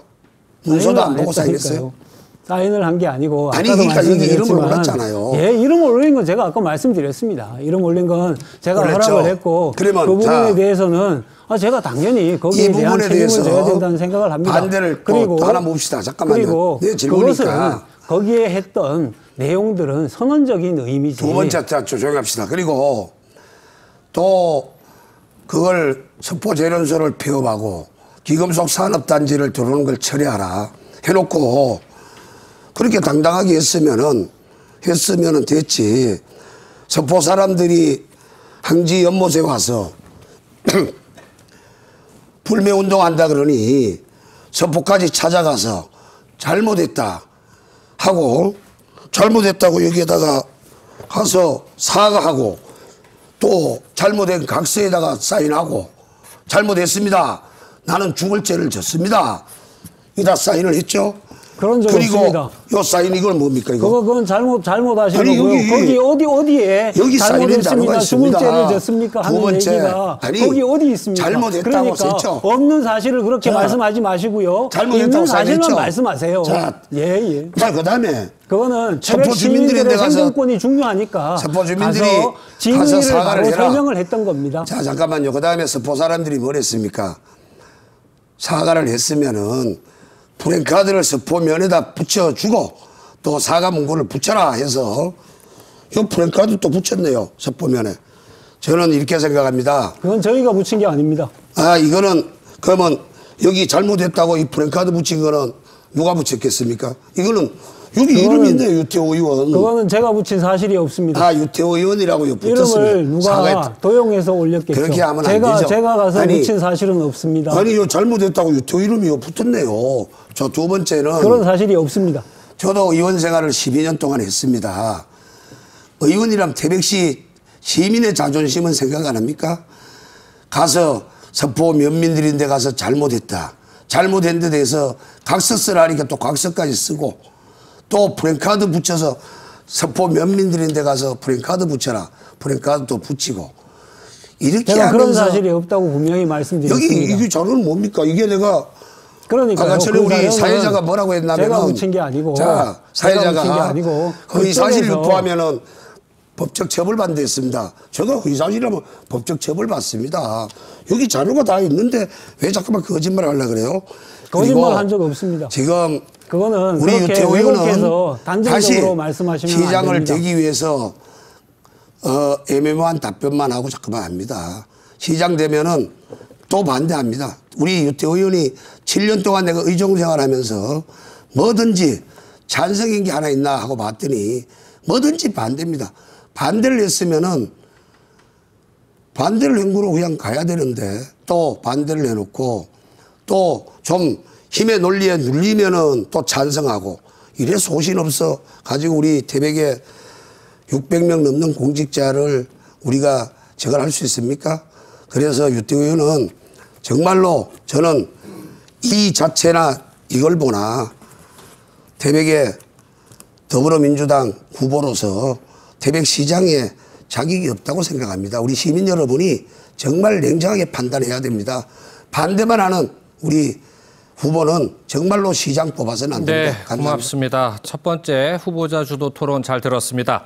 여러분께서는 지금 태백시 선거방송 토론위원회가 주관하는 6.13 지방선거 태백시장 후보자 토론회를 보고 계십니다. 어, 다음으로 후보자 공약 검증을 위한 두 번째 후보자 주도 상호 토론을 진행하겠습니다. 가장 먼저 어, 이번에 토론을 어, 진행하실 후보는 최종현 후보입니다. 7분 네. 동안 자유롭게 진행해 주시면 됩니다. 자, 아, 임남규 후보님에게 먼저 물어보겠습니다. 어, 임남규 후보님의 메인 공약은 경석 자원화 사업이라고 알고 있습니다. 어, 이 사업은 뭐 아까도 말씀하셨듯이 2016년부터 어, 강원 개발연구원에서 시행 중인 어, 공- 경석 자원화 사업하고 어, 비슷한데요. 어, 한 가지 차이는 석탄 폐석에서 어, 부식산을 뽑아서 비료로 쓴다는 것 같습니다. 어, 우리 지역에 있는 일반 폐경석에 어, 부식산 함유량이 어느 정도, 몇 퍼센트 정도 함유되어 있는지 아십니까? 에, 경석 말하자면 폐탄입니다. 그 폐탄을 가공했을 때 1톤을 가공했을 때는 거기에 한 0.3% 네, 정도가 에, 부식산을 생산할 수 있는 예, 에, 아주 그런 기술입니다. 미미한 양입니다. 예, 그렇죠. 어, 제가 한국 광해관리공단에 문의해 본 결과는요. 어, 후보님 공약에 따르면 부식산은 석탄 성분에서 추출하긴 하는데 어, 경석은 다 아시다시피 석탄을 분리하고 남은 찌꺼기 그냥 돌이라고 생각하면 된다고 어, 얘기를 합니다. 어, 석탄 함량이 매우 낮아서 어, 국내는 물론 해외에서도 어, 경석뿐 아니라 무연탄에서조차도 부식산을 뽑아서 어, 비료로 만들어낸 사례는 전혀 발견되고 있지 않습니다. 어, 또 제가 한국 유기질 비료 협동조합에도 질의를 해봤습니다. 어, 현재 부식산은 어, 유기질 비료뿐 아니라 어떤 비료에도 쓰이지 않고 있고요. 어, 농촌진흥청 법령정보 어, 비료 관련 항목에서도 부식산에 대한 어떤 기록도 없더라고요. 어, 따라서 어, 후보님께서 말씀하신 그, 그 경석 자원화 사업이 수입 대체 효과까지 있다는 말은 좀 아닌 것 같습니다. 어, 장, 광물 자원화 사업 관련해서 어, 유기질 비료의 과학적 어, 또는 법적, 경제적인 어, 근거가 무엇인지 조금 입증해 주실 수 있습니까? 설명해 주실 수 있습니까? 제가 특별히 경제성 관련해서요. 제가 그 광물 자원화 사업 중에 그 다섯 가지가 있습니다. 현재 강원 강원 테크노 파크와 2016년 4월 20일 경에 이제 추진을 해서 산자부로부터 승인을 받고 현재 예산도 192억, 그렇죠. 부지 매입도 되어 있습니다. 에, 제일 그 강원 테크노 파크와 업체가 선정된 게 지금 다섯 개 있습니다. 그 그중 중에 3M 패킹 연구소가 아닙니다. 아직 포함되지 않, 않았죠. 예, 그렇습니다. 아직 백- 예, 알겠습니다. 아직 포함되어 예, 있지 예, 않고 알. 지금 그 그런데 업체와 예. 우리 태백시 예. 예, 제가 시장이 됐을 때 이 부식산은 현재 대한민국에서는 에, 생산하지 예, 못하고 알겠습니다. 있습니다. 예, 단지 예, 제가, 이 어, 중국과 예. 캐나다에서 생산을 하고 있습니다. 예. 그래서 그래서 이 현재 그 국가 어, 기술 공인 의향서를 에, 지금 제출한 제출하고 상태죠. 있는 예, 상태입니다. 예, 알겠습니다. 아, 그런데 3M 패킹 연구소는 어, 유기질 비료 협동조합에도 등재돼 있지 않고요. 어, 선거 막 바로 직전에 등장해서 어, 생산 정체불명의 연구소입니다. 사실 어, 관련 기사에 따르면 이 권, 이런 연구소와 관련 업체 어, 독점, 생산, 판매권까지 주신다고 하는데요. 혹시 어떤 개인적인 친분이 있어서 어, 그런 그런 건 전혀? 아니고요. 네. 제가 준비하는 제1공약 경 뭐, 광물 자원화 사업은 3M하고는 전혀 네, 관련이 알겠습니다. 없었습니다. 예, 예, 예, 제가 알겠습니다. 한 고맙습니다. 준비한 거는 강원 테크노파크와 네. 국비 50%, 도비 25%, 태백시 25% 그렇게 이 강원 테크노파크와 진행 중에 네. 이 3M에서 자기네도 이 폐경석을 이용한 이런 기술이 있으니 같이 하는 게 어떻겠느냐. 음. 그러면 검토를 해 어. 보겠다. 그래서 에, 다섯 번째, 여섯 번째로 들어온 예. 에, 그냥 그게 여섯 부신산 번째 예. 어, 검토 대상의 그- 기업이 하나일 뿐이군요. 그렇죠, 네, 그렇죠. 알겠습니다. 어, 유태호 후보님에게 묻겠습니다. 아, 유태호 후보님의 주요 공약을 보면 하나같이 어, 이해가 되지 않는 어, 현실 가능하지 않은 공약입니다. 아, 폐광 지역 개발청을 설치한다고 하셨죠. 예. 어, 청사급 기관은 차관급 정부 직제인데요. 이것은 시장 공약이 아니라 대선 공약 아닙니까? 아, 그 공약에 대해서 잘못 이해하고 계신 것 같습니다. 아, 국가기구가 아니고요. 강원도의 외청으로서. 예, 한동의 알겠습니다. 그렇게 말씀하실 줄 알았는데요. 어, 폐광지역 한동의 출장소 같은 예, 아. 출장소급 산하기관이라는 말씀이죠. 강원도에. 예. 어, 그렇다면은 어, 좋습니다. 어, 그리고 또 하나 묻겠습니다. 장성광업소를 어, 유네스코 세계 문화재, 문화 유산에 등재시킨다고 하셨죠. 예. 어, 유 후보님은 유네스코에 대한 개념 제대로 파악하고 계십니까? 어, 제가 알기로는요, 유네스코에 지정되려면 전 세계에서도 어, 역사성과 독보성 있는 문화 컨텐츠가 있어야 한다, 한다 고 알고 있습니다. 어, 영국의 게이츠헤드나 독일 졸페라인 같은 탄광 도시는 오랜 역사와 어마어마한 외부 구조물이 잔존해 있었기 때문에 유네스코 등재가 가능했습니다. 아, 그렇지만 우리나라 덕수궁, 도산서원, 한양도성도 등재 실패했습니다. 어, 이런데 이걸 태스크포스 팀을 만들어서 유치한다고 합니다. 지정이 되려면 중앙정부나 문광부가 주도해야지 일개 자치단체에서 자치단체장이 주도해서 가능하겠습니까? 예. 지금부터 시작하는 거죠. 장성강업소가 아, 그렇지. 그런 곧 답을 하실 줄. 알았습니다. 아니. 예, 얘기를 그 질문을 했으면 들으셔야 아, 제 지금 아니요. 대- 그 답변도 제좀 답을- 들으셔야죠. 어. 왜냐하면 그 제가 폐광이 예상했기 때문입니다. 한 10년 안에 어, 그럼 예상하는 예상했어도 질문은 제가 드리는 답변은 듣고 말씀하시는 네, 게 마지막 맞는 질문하겠습니다. 싶습니다. 그리고 요즘 그렇게 논란이 되고 있는 혼자 주장만 아, 말씀하시면. 제가 답변할 기회를 조금이라도 줘야 한마디라도 할 거 아닙니까? 그 일방적 주장만 네, 하실 거면 알겠습니다. 이거 토론의 의미가 없다고 봅니다. 말씀하십시오. 여성 교도소 문제가 대단히 예. 논란인데요. 어, 제가 아침에 확인해 본 결과 어, 교정 법무부 교정 책임자는 경기 지역의 여성 교도소 신축을 계속 추진 중이고 주민 반대가 심해 취소되거나 계류 중인 사실이 없다고 안- 알려왔습니다. 안타깝지만 시간이 다 됐습니다. 이번엔 유성호 후보 순서입니다. 7분 토론 주도해 주시면 됩니다. 예, 유태호 후보님께 묻겠습니다. 여기에 유태호 후보님이 2014년도에 어, 시의원 출마하실 때 공약 내용입니다. 요 14꼭지입니다.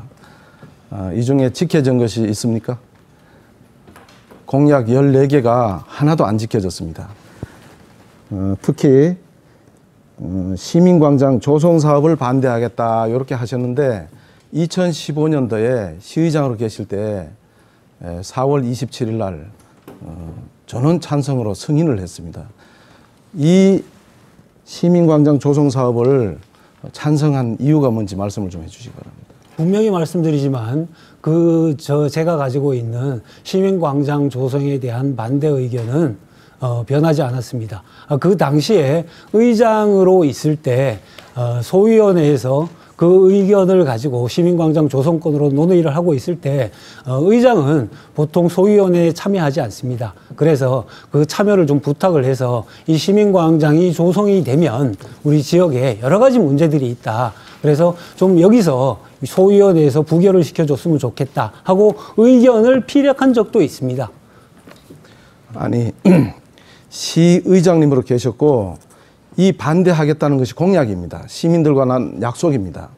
그러면 반드시 관철을 해야지. 이게 지금 시의장님으로서 시민을 대변하는 어, 수장으로서 이렇게 약속을 안 지키시면 시민들이 뭘 믿고 기대고 어, 유태호 후보를 믿겠습니까? 유성호 후보님께서 의회에 의회가 운영되는 구조를 잘 모르셔서 그런 말씀을 하시는 겁니다. 아, 보통 특별위원회에서 공유재산 관리 계획이나 예산이나 그런 사업 계획들은 다 의결이 됩니다. 그리고 의장의 역할은 본회의를 주도하고 본회의를 회의를 주도하면서 그 특별위원회에서 결의된 사항들을 본회의에서 통과시키는 것이 그 2015년 4월 27일 날 7명 시의원 의장 포함해 7명 모두가 전원 승인을 한 겁니다. 부정하시겠습니까? 아, 그러니까요. 제가 말씀드리잖아요. 아니, 의회, 그러면- 의회가 운영되는 구조가 그럼 반대한 겁니까, 특별위원회에서 특별위원회에서 어, 여섯 명의 의원이 의결을 하고 그 의결된 결과들이 본회의에 상정돼서 그 본회의에서 통과된 겁니다. 그 시의장이 어떻게 했다는 겁니까?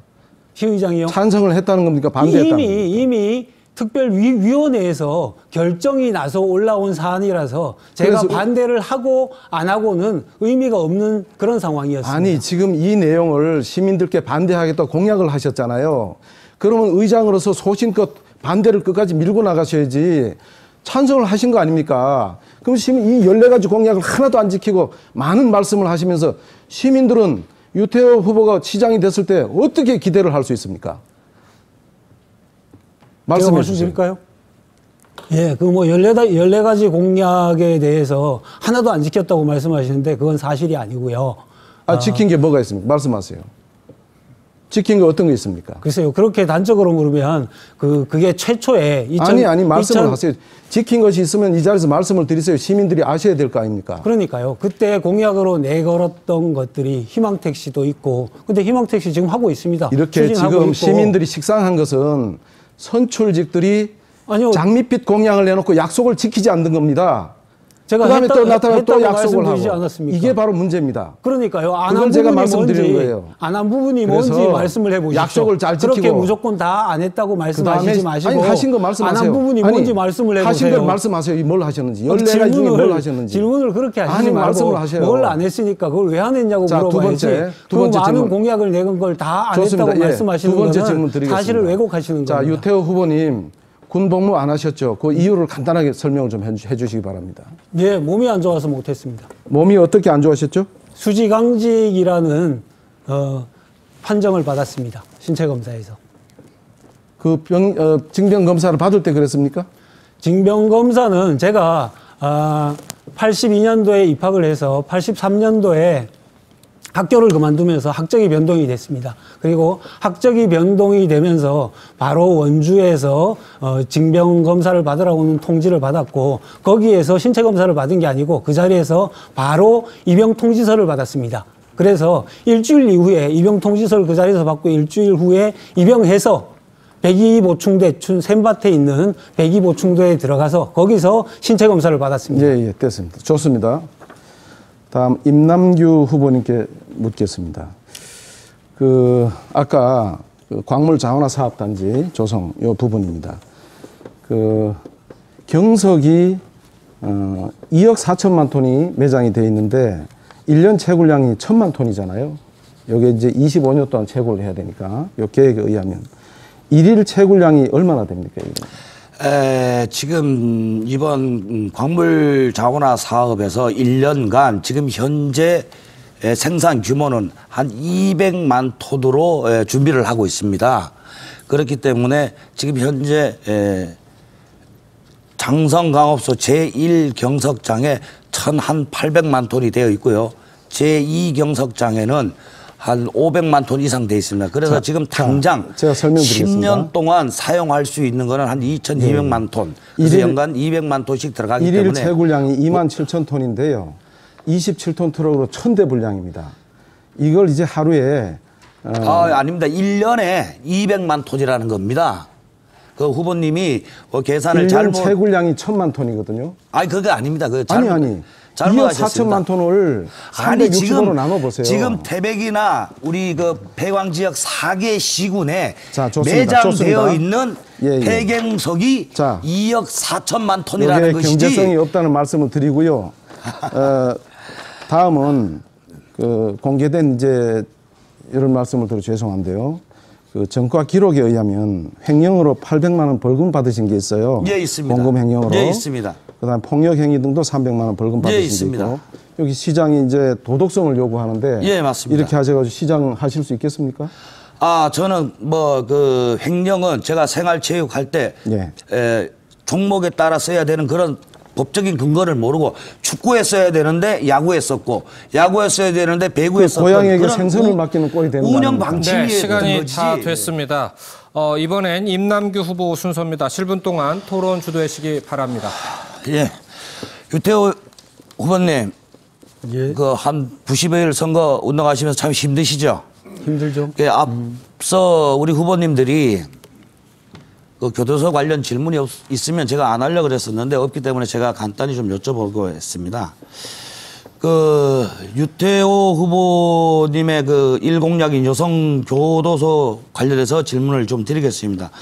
혹시 교도소가 신축되기까지 평균 기간이 어느 정도 걸리는지 혹시 알고 계십니까? 아, 그거는 그 여건에 따라서 틀릴 수 있는 거지 다 일률적으로 적용할 수 있는 건 아니라고 생각합니다. 그렇습니까? 그렇습니다. 제가 도의원 할 때 그 태백의 경로당 9개, 그 다음에 노인회관 신축을 할 때도 보통 2년 내지 3년이 걸립니다. 그렇습니다. 법무부가 계획을 수립한 시설을 완성하는데 평균 7년에서 15년 소요가 된다고 합니다. 그래서 본 후보가 그 공부를 좀 하고 연찬을 좀 해봤어요. 예를 들면 지난 2015년 10월 이전 신축을 완료한 광주교도소는 2010년 이전 부지를 확정하고도 15년이라는 시간이 걸렸어요. 그리고 속초지청에 에, 있지만 속초교도소가 없는 속초의 경우 속초교도소는 착공까지 13년이 걸렸습니다. 아울러 그 거창 교도소 신축 경우 2011년 유치를 해서 2015년 착공을 했습니다. 하지만 현재까지도 찬반 공론에 갈려서 공사가 중단되어 있는 상태입니다. 이렇게 보면 여성교도소는 임기 내 유치하기가 불가능한다는 결론에 이르게 됩니다. 이거 태백 시민이 이게 무작정 에, 후보님의 제1공약인 천명 수용의 여성 교도소를 과연 유치가 가능할까요? 우리 후보님 생각은 어떠십니까? 예, 뭐 그거 그 문제는 충분히 저도 임남규 후보님의 의견에 동의합니다. 그리고 여성교도소 유치라는 것이 뭐 간단하게 해결될 그런 문제도 아니라고 생각을 합니다. 하지만 그 임기 중에 제가 최대한 노력을 해서 그 어느 대체 산업보다 지역 경제에 정말 훌륭하게 지역 경제를 살릴 수 있는 그런 것이 어, 여성 교도소라는 생각을 했고 그것이 현재 법무부에서 신축을 계획을 하고 있고 그러면 이걸 태백으로 최대한 유치를 해보자. 그것이 좀 시간이 걸릴 수도 있지만 아, 유치를 해서 태백 대체 산업의 하나로서 좀 잘 활용을 하고 지역 경제를 살려보자 하는 뜻에서 유치 공약을 내걸었고요. 그거 하나만 가지고 태백의 모든 것을 다 살릴 수 있다고 예, 예, 생각하지 알겠습니다. 않습니다. 그러면 그 저기 후보님은 결, 결국 종래에는 이 천 명 상당의 여자 교도소는 유- 임기 내 건립이 어렵다 이렇게 말씀하시는 게 맞죠? 아닙니다. 아니 그런 지금 게 아니고 아, 그렇게 답변을 하셨지 않습니까? 아닙니다. 아닙니다. 내꼭 하실 그럴 수 수도 있음- 있고 아닐 수도 있습니다. 아, 그런 그럴 수도 있고 아닐 수도? 있는데 아니, 4년 그거는 뒤에 시장이 임기 될지 안 될지도 모르는데 그걸 후보님의 일공약으로 어, 천명 여성 수- 교도소를 유치한다고 했습니다. 그것도 두 번째 그 공약도 기반을 닦아놓고 확정만 계획이 아 태백에 이렇게 이렇게 하겠다 하는 확정된 것만 끌어오더라도 저는 태백에 엄청난 효과가 있으리라고 보고요. 당장 그것이 우리 태백의 가장 심각한 문제는 우리 후보님께서 말씀하신 것처럼 시장이 되자마자 뭘 당장 해서 하는 것이 아니라 앞으로 아니 야, 여기서는 우리 태백 가능성이 시민들의 알 권리와 저희들 공약에 대한 검증입니다. 임기가 4년 동안 자기가 할 수 있는 공약만 해야 되는 게 저 시민들에게 도리라고 생각을 합니다. 하지도 못하고 지키지도 못하고 투명성도 없는 공약을 일공약으로 내밀어서 시민의 눈과 귀를 막으려고 하시려 하는 공약이 과연 시민 우리 태백 시민들의 예인가 이렇게 생각을 합니다. 알겠습니다. 됐습니다. 다음 우리 그 유성호 후보님께 질의를 좀 드리겠습니다. 어떠한 수술도 가능한 그 대형 병원을 유치를 공약으로 내셨습니다. 혹시 유성호 후보께서는 에, 수술 쏠림 현상이라고 들어보셨습니까? 수술 무슨 현상이요? 쏠림 현상. 수술 쏠림 현상이요? 예. 예, 말씀해 주십시오. 제가 현실을 좀 설명을 해드리겠습니다. 예, 예. 위암 수술을 예를 저 좀 들어보겠습니다. 전국에서 한 해 2만 9천여 명이 위암 진단을 받습니다. 예, 예. 하지만 수술만큼은 서울이 초대형 병으로 몰리는 쏠림 현상이 심각한 수준입니다. 예. 일례로 서울의 한 초대형 병원은 위암 수술을 한 해 한 천 건 넘게 하- 하고 반면 지방의 진짜 굴지의 대학 병원은 100건 미만으로 지금 하고 있습니다. 그렇다면 현실을 감안했을 때 우리 유성호 후보께서 공약을 하신 대형 병원이 유치가 되겠는가? 예, 예. 경제 논리에 맞지 않는 것 같습니다. 예, 예. 그 답변을 좀 부탁드리겠습니다. 예. 그래서 제가 서울에 대형 병원이 있는 현대아산이나 삼성처럼 경영 기반이 탄탄한 어, 기업이 태백에 내려와서 이 산소 도시에 강원 남북권과 경북 북부권이 완전한 의료 사각 지역입니다. 이곳에다가 명품 병원을 세워서 경제 논리에도 맞고 기업의 공익적 목적에도 맞는 병원을 세워서 태백을 살리겠다는 것이 저 논리입니다. 그래서 지금 이 제 공약에 보면 이제 이런 어, 현대아산이나 삼성처럼 서울에 있는 병원에 그런 어, 기업이 내려와서 병원을 짓도록 하겠다는 거고요. 현 정부 100대 국정 어, 과제 중에도 예, 알겠습니다. 예, 알겠습니다. 예, 예, 예, 예, 후보님. 병원을 세우는 공약이 예, 알겠습니다. 있습니다. 그럼 유성호 공공의료법 개정안도 또 유성호 발의가 되어 있습니다. 후보께서요 유치하셨다 하신다는 그 대형 병원이 혹시 매니페스토 차원에서 한번 그 수요 조사를 한번 해본 적이 있으십니까? 수요 조사는 예. 그 병원을 세울 대기업이 이제 해야 됩니다. 경제 논리로 수요 조사를 하는 겁니다. 시장이 수요 조사를 하는 게 아닙니다. 아니 시장은 인프라만 구축해주고 아니 행정적으로 후보가 지원해주고 공약으로 내민 사업을 수요 조사도 없이 후보가 사업을 내세운 게 제안을 아니고 해야 되는데 후보가 사업을 내세운 게 아닙니다. 아, 네, 참. 고맙습니다. 예. 시간이 다 됐네요. 이번엔 유태호 후보 순서입니다. 시간은 7분입니다. 예. 아, 유성호 후보께 질의 드리겠습니다. 아, 유성호 후보께서는 핵심 공약으로 대형 종합병원, 그것도 대기업이 운영하는 병원을 유치하겠다고 공약했습니다. 이미 국내에서는 암이나 뇌, 그리고 심장 질환과 같은 중증 환자는 어, 우리 5대 병원에 몰리고 있는 것이 우리 태백만이 아니고 전국적인 현실입니다. 앞선 토론회에서도 다른 여러 후보들께서 태백에 과연 대형 종합병원 유치가 가능하겠느냐 하는 데 있어서 몇 가지 사례를 들어서 이것이 현실성이 없는 거 아닌가 하는 그런 제기를 한 바가 있습니다.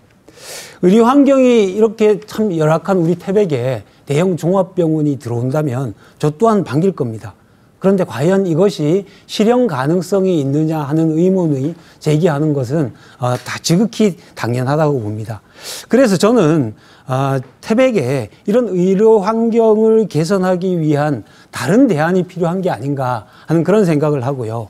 아, 가장 필요한 것이 태백에 응급 의료 시스템이 안정적으로 운영되고 있지 않다는 부분입니다. 그래서 이 응급 의료 시스템의 안정적인 운영을 위해서 아, 최소한 세 명 이상의 전문의가 있어야 한다고 하고요. 그래서 이 문제를 해결하는 방안을 아, 왜 그렇게 대형 병원을 신축하는 게 아니라 현재 태백 중앙병원의 응급실에 공중 보건의를 최대한 좀 확보를 해서 이 문제를 해결하는 방안이 또 하나 있을 거고요.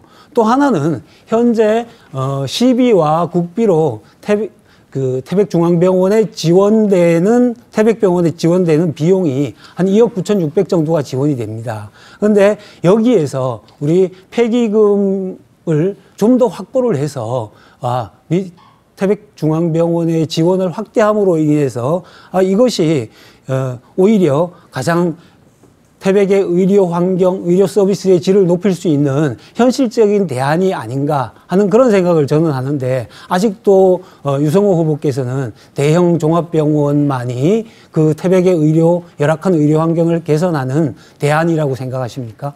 음, 그렇습니다. 태백이 에, 교통 오지입니다. 그 다음에 뇌나 심장으로 쓰러지시면 병원을 찾아가시다 돌아가십니다. 우리 시민들이 강릉, 원주, 서울로 병원을 찾아다니시다 얼마나 애를 먹습니까? 우리 태백의 지도자들 지금까지 뭐 했습니까? 현대 아산이나 삼성같이 예를 들면 현대 아산병원도 전국에 여덟 군데나 있습니다. 폐광 지역, 이 광부들이 5,100명이나 희생한 도시입니다. 또 병으로 우리가 죽어야 됩니까? 이 지도자들이 어떤 수술도 할 수 있는 대형 종합병원 유치를 위해서 시민의 힘을 모으고 앞장선 적이 있습니까? 해봤습니까? 해보지도 않고 되겠느냐? 이거는 아닙니다.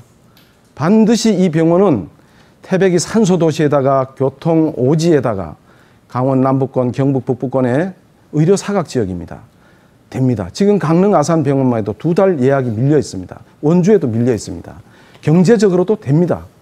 된다고 생각하고 힘을 모았을 때 우리는 이루어낼 수 있습니다. 유성 후보님. 유태호 후보님 아, 동의하시죠? 병원 동의하시죠? 예, 반대하십니까? 태백에 아, 병원을 반대하지는 않습니다. 태백의 의료 환경이 열악한 환경을 개선하는 방안이 유성호 후보께서는 어, 실현 가능성이 없는 낮다고 보는 다른 모든 후보들도 실현 가능성이 낮다고 보는 그런 대형 병원을 유치하겠다는 거고요. 제가 얘기하고 있는 거는 오히려 현재 태백에 있는 종합병원들에 대한 지원을 확대하고 오히려 우수한 의료 인력을 확보할 수 있는 방안을 찾아서 지금 태- 그것이 제- 오히려. 현실적인 방안이 아닌가 하는 그런 말씀을 드린 거고요. 제 시간입니다. 제 시간입니다. 유성호 의원님 죄송합니다. 삼성 지방병원들은 제, 제 시간입니다. 응급 의료 좀 전문의가. 상주하고 있습니다. 응급실에 태백병원 지금 인턴들이 시간입니다. 세명 있어요. 원주 기독병원하고 물을 체결해 가지고 좀 끊어 주셔야 되는 거 아니에요? 체계를 응급 제가 좀 전에 답변 다 들었고, 들으셔야죠. 예, 제가 제- 좀 전에 응급- 답변 다 들었습니다. 답변 다 들었고, 그러면 의사들이 와 4, 5명 있어요. 전문의가 없습니다. 임남규 후보님, 응급실에. 임남규 후보님께 제가 그 하나 질문 드리겠습니다. 임남규 후보님 공약을 보면 어, 농, 농산물 자치단체 보장제를 약속하셨습니다. 이것이 혹시 어떤 공약인지 구체적으로 설명을 좀 해주시겠습니까? 에, 저의 제2 공약이 산림복합정정단지입니다. 앞으로 향후 1, 2년 안에 거기서 대한민국에서 최고의 농산물이 에, 생산이 될 것입니다. 이것을 태백시가 보증을 하고 검증을 하는 그런 브랜드화 시킨다는 공약입니다. 아, 태백에서 생산되는 그런 농산물에 대해서 시가 보장을 한다 그런 거군요. 네, 그렇습니다. 아, 예, 예. 그리고요, 아, 공약 중에 또 하나만 더 여쭤보겠습니다. 아, 유럽형 산악 전원 주택 단지 조성, 이런 공약이 있습니다. 이 공약은 현재 자유한국당의 도지사 후보께서도 공약을 하신 것으로 알고 있는데, 구체적으로 이것이 어떤 사업인지 설명을 해 주시기 바랍니다. 아, 제가 그 유럽형 산악 전원 단지 택지 개발이 제 3공약입니다.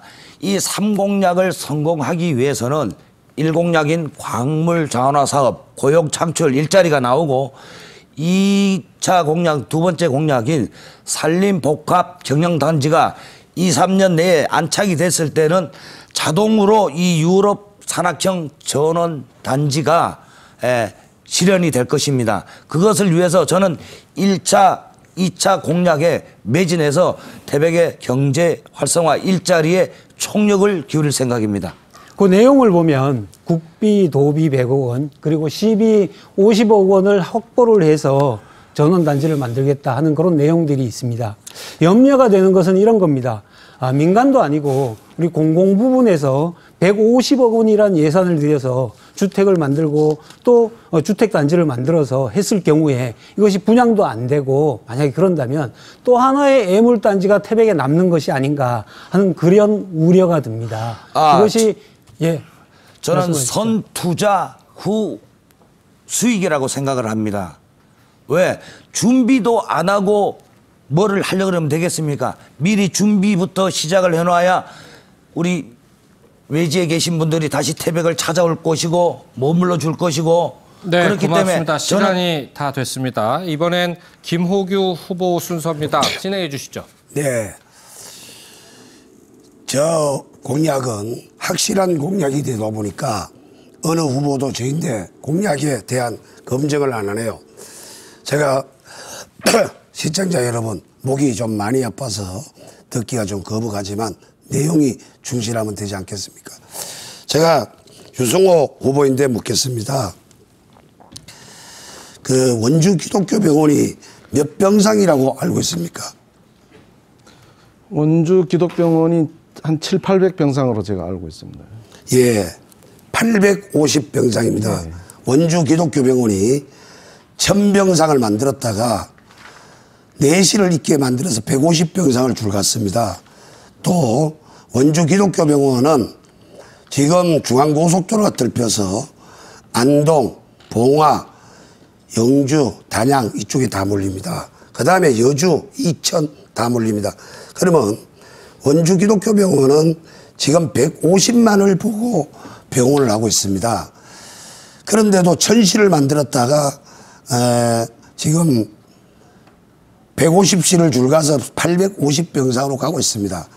그 다음에 강릉 아산병원이 몇 병상인 줄 알고 계십니까? 강릉 아산병원이 어, 800병상 정도 되는 걸로 알고 있습니다. 아닙니다. 지금 아산이 지금 강릉이 822병상입니다. 이것도 병- 병상 수는 이번 환자 수에 네네. 비례해서 늘었다. 알겠습니다. 그리고 이거는 새로 강릉이 신축을 해서 그렇습니다. 그 다음에 원주 기독교 병원에 150만이 찾아오는 원주 기독교 병원, 우리 강원도의 최고 병원입니다. 일종 병원입니다. 거기도 강릉 사람들이 강릉 병원을 못 믿고 서울로 가는 사람이 약 20%가 넘습니다. 그러면 지금 에, 태백에다가 대형 종합병원을 몇 병상 정도 가져오시려고 생각하고 계십니까? 병상 규모는 그 지을 대기업이 시장 조사를 해야 됩니다. 저거 지금 제가 시장이 몇 병상을 지어라 이렇게 하는 것도 아니고 아, 지금 그래요? 말씀하셨듯이 병상 수는 시장 조사를 해서 저번에 이제 짓고 아, 됐습니다. 제가 예. 저번에 우리 유승호 후보님께서 동좀 어디에 가서 그 후보로 갔을 때 주민들인데다가 아산 병원 반만한 걸 가져오겠다. 거기에 직원이 만 명이다. 근데 의사가 2,200명이다.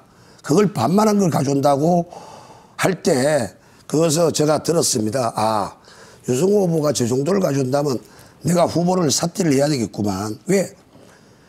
저 정도 병원을 가져오면 직원이 5천 명인데 저도 지역을 살리기 위해서 의원 또 삼선했고 강원랜드 이삼서 어른 국회의원 또 못 가져온 150억도 제가 가져오다 법적 처벌 받았지만 이렇게 가져온다는데 제가 시장을 나와서 해야 되겠나 하는 생각도 좀 해봤습니다.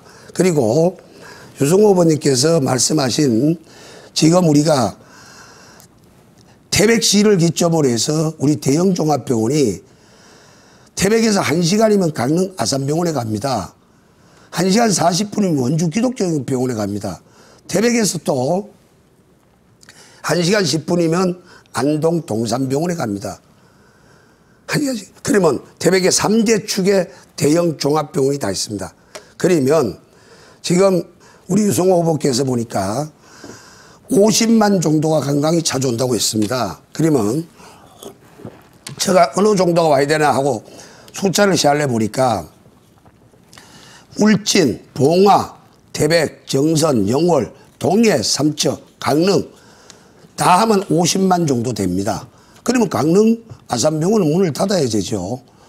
아무리 대기업에서 경영 논리로 병원을 짓지 태백에다가 이렇게 원주 기독교 병원, 우리 장성중앙병원이 몇 병상인 줄 알고 계십니까? 480병상입니다. 아닙니다. 540병상입니다.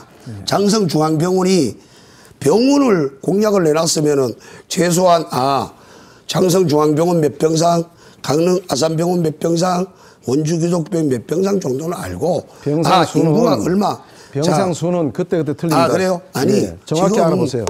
원주 지금 장성 아니 조, 제가 아, 알아보시, 보면은 지금 시점에 알아보시고 말씀하세요. 그래야 됐고요. 그 다음에 지금 아까 전에 말씀대로 병원이 강릉 아산병원이 에, 새로 신축하기 전만 해도 강릉 아산병원이 어렵습니다. 그 다음에 지금 아산병원 아산병원 얘기를 했습니다. 전국에 여덟 개 있는 게 맞습니다. 지금 영덕, 금강, 보성, 홍천, 보령, 정읍, 강릉, 서울입니다. 근데 보령, 홍천, 보성, 건강, 영덕을 이 병원 다섯 개가 훔쳐도 우리 장성중앙병원보다 적습니다. 지금 영덕에 58병상, 건강 82병상, 보령 100병상, 홍천 145병상, 보령 240병상입니다. 이거는 현대 아산에서 그 지역이 병원이 없기 때문에 조만한 병원 이런 병원 또 대형 수술을 다 자, 할수 김- 있나요? 김 후보님. 아니 그 제가 묻는 말에 병원의 주체가 공기업이냐 민간이냐 이걸 아니, 잘 이게 지금 아산에서 그 지금- 지금 말씀하신 병원들은 아니 아산에서 응급, 지금 응급 전문의가 여덟 개 거기 다 병원을 있어요. 지금 예. 우리 그래서 말씀을 하시는데 아산에서. 예. 병원을 여덟 개가 있다고 했지 않습니까? 당연합니다. 예. 여덟 개 있는데 지금 병원이 지금 전부 다 보면은 강릉 아산을 빼고는 그리고 서울 송파 나머지는 전부 다 병실이 간호사가 우리 3,300에 태백에 의사가 2,200입니다. 규모가 태백에 만 우리 명, 삼성 1,9만 만 명입니다. 저 태백시 이 태백 태백병원 상소 도시에 병원 큰 병원이 두- 들어서면 근데 태백이 확 살아날 수 있습니다. 거기 들어가는? 식자재니 얼마나 그러면 일거리, 우리 유승호 후보님은 삼성이나 현대하고? 뭐 그- 친형제나 되고 그 병원이 있다? 옆에 병원이 있다서 그 병원이 안 되는 거 아닙니까? 병원은 예. 경영 논리에 적자가 나는데 아산 경영 강릉병원도 지금 적자가 나는 판에 같이. 어떻게 들어옵니까? 잘 아시고 말씀하시고 좀 우리 병원 유치에 협조를 좀 유성 후보께서는. 아니 저는 유성 후보께서는 공약을 좀 바꿔서 장성중앙병원이 540병상입니다. 근로 좋은 의사 네, 유치했으면 고맙습니다. 좋겠습니다. 시간이 다 됐습니다. 오대, 오래 기, 기다리셨습니다. 시- 저 심용보 후보님 이제 7분 토론 진행해 주십시오. 예. 저, 어, 임남기 후보님께 그 단답형으로 가시죠. 어? 길게 하지 마시고. 그 임남기 후보님이 공략하신 경석 자원화 사업이 그 원료가 뭐죠?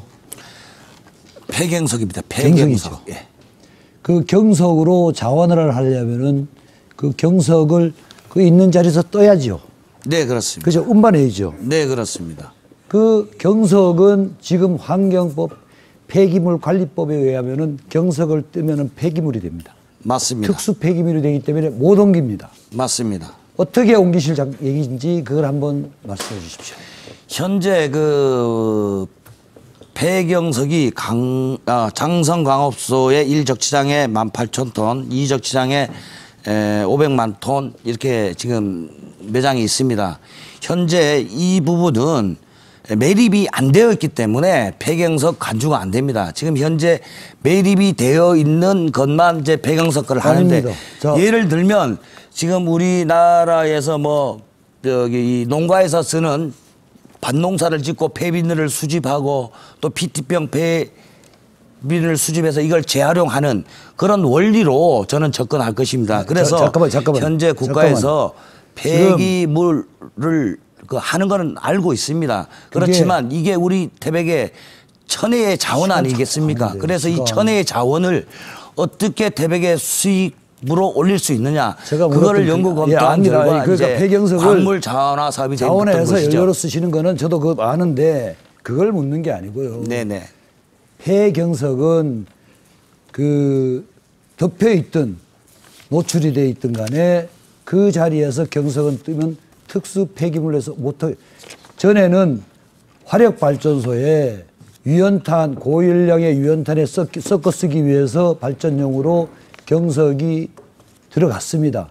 근데 그 자체가 이제는 경석이 있는 자리에서 뜨는과 동시에 특수 폐기, 폐기물이기 때문에 못 뜹니다. 그래서 그거는 다음에 우리 임남규 후보님께 잘 해결해 가지고 우리 태백의 폐경석이 잘 활- 활용되도록 에, 부탁드리겠습니다. 예, 잘 알겠습니다. 네.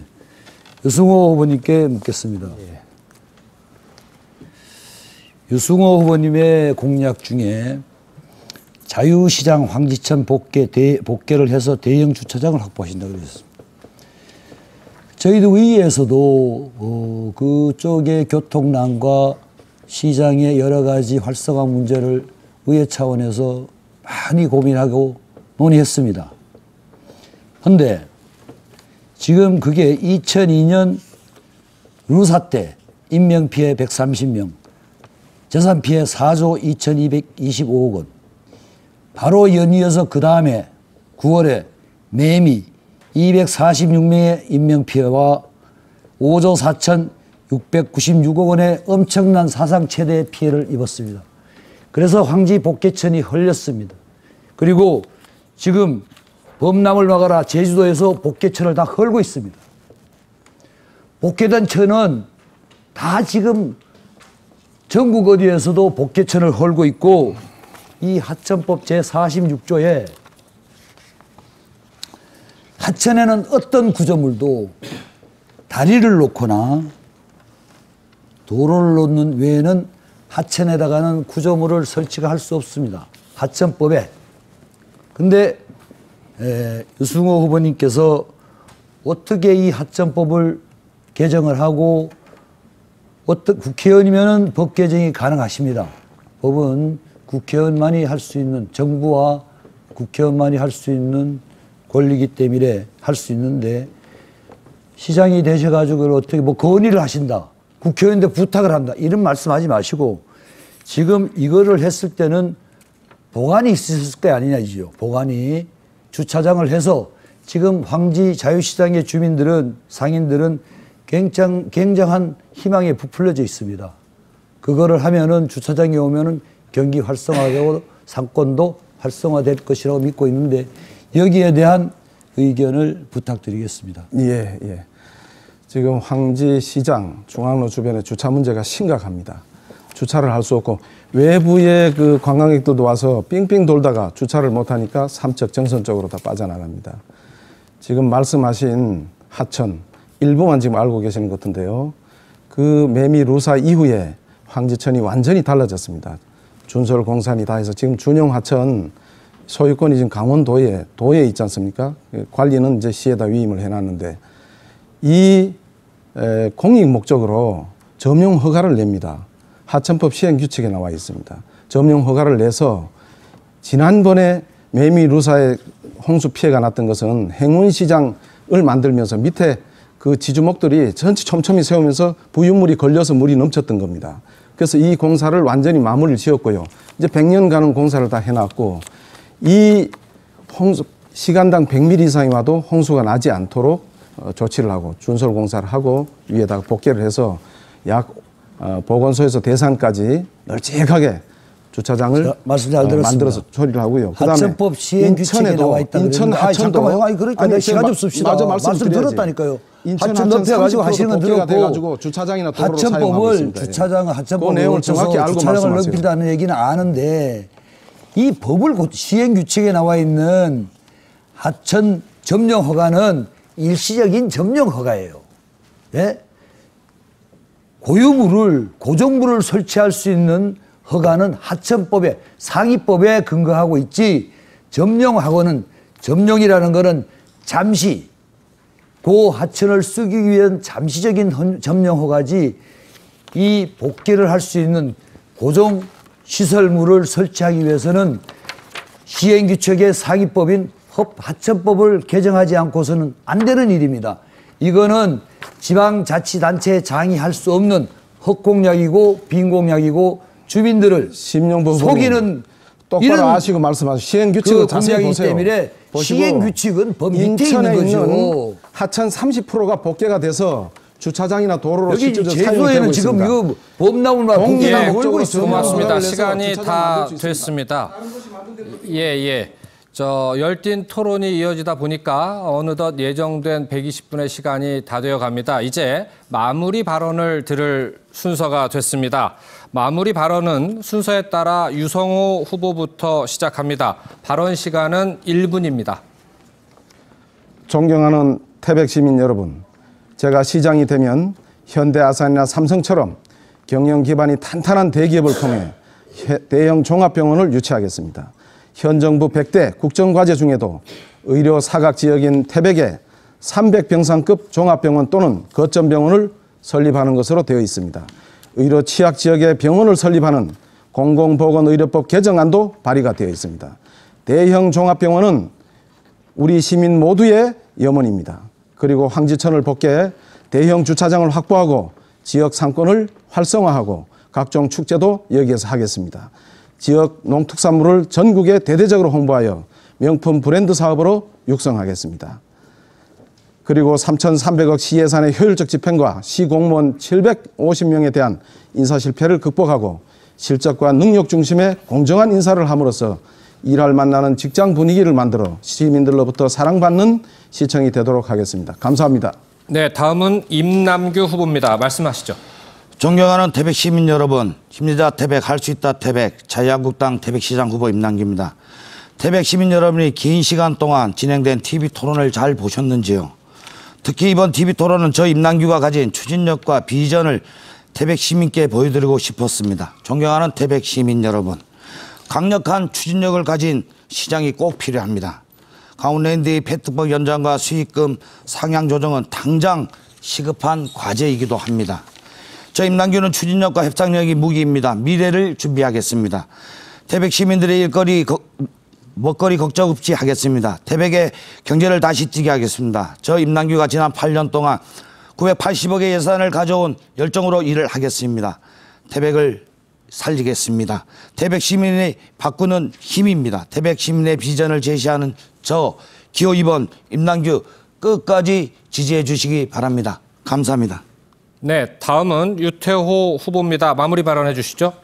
예, 시민 여러분, 오늘 토론 잘 보셨습니까? 저는 오늘 위기의 태백을 희망의 태백으로 만들기 위한 약속을 말씀드렸습니다. 이것은 저 혼자서 할 수 있는 일이 아닙니다. 시민 여러분께서 꼭 함께 해주셔야 가능한 일입니다. 가장 먼저 아이들 키우고 교육 문제 걱정 없는 태백 꼭 만들겠습니다. 어르신들 잘 모시고 시민 여러분들 꼼꼼히 챙기는 그런 시장 되겠습니다. 어려운 지역 경제 하나하나 해결해 나가겠습니다. 존경하는 시민 여러분, 약속드리겠습니다. 공직자들이 시민을 위해 열심히 일하면 인정받는 공직사회로 만들어서 우리 시민들이 시민들을 섬기는 이런 행정 꼭 실현되도록 하겠습니다. 그리고 무엇보다도 문재인 대통령의 대한민국 그리고 최문순의 강원도 유태호가 책임지는 태백 이런 든든한 태백 꼭 만들겠습니다. 유태호에게 꼭 투표해 주십시오. 감사합니다. 네, 계속해서 김호규 후보 순서입니다. 존경하는 태백 시민 여러분, 방송 잘 보셨습니까? 유태 후보는 영풍 반대입니다. 저 김호규는 무조건 찬성입니다. 조건부 찬성이니 유보니 눈치 보는 공약 안 합니다. 태백이 지금 죽을 지경인데 무슨 소리입니까? 올 하반기까지 재유치 하겠습니다. 정당이 우리 태백을 책임져 주지 않습니다. 그들의 이야기하는 중앙의 힘 과연 태백에 무슨 도움을 줬습니까? 그러나 저 김호규는 다릅니다. 가장 현실적인 공약, 가장 여러분들이 지금 어느 후보도 저인데 공약 가지고 검증한 사람이 없습니다. 사실 지금 제대로 된 공약을 댔고 현실적으로 이루어지는 공약이기 때문에 태백 시민 여러분 치매 노인 요양 사업, 영풍기 금속 산업단지, 슬롯머신 사업 꼭 유치해서 일하겠습니다. 네, 감사합니다. 이번엔 심용보 후보입니다. 역시 1분 드립니다. 존경하고 사랑하는 태백 시민 여러분, 오늘 여섯 후보님들의 정책 공약 토론회 잘 보셨습니까?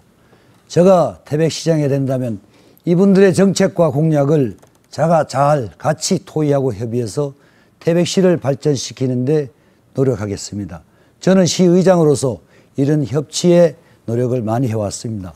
태백 시민 여러분, 제가 재미있는 말씀 한 말씀 드리겠습니다. 손을 열을 이렇게 펴 보시면 힘이 없어 보입니다. 그러나 이렇게 모으면은 힘이 있어 봅니다. 여기에다 행운의 2를 합하면은 여러분께 행운을 드리는 7, 무수속 기호 7번 심용보 여러분께 태백 시민 여러분께 행운을 가져드리겠습니다. 감사합니다. 네. 마지막으로 최종현 후보의 마무리 발언 듣겠습니다. 어, 1분 드립니다.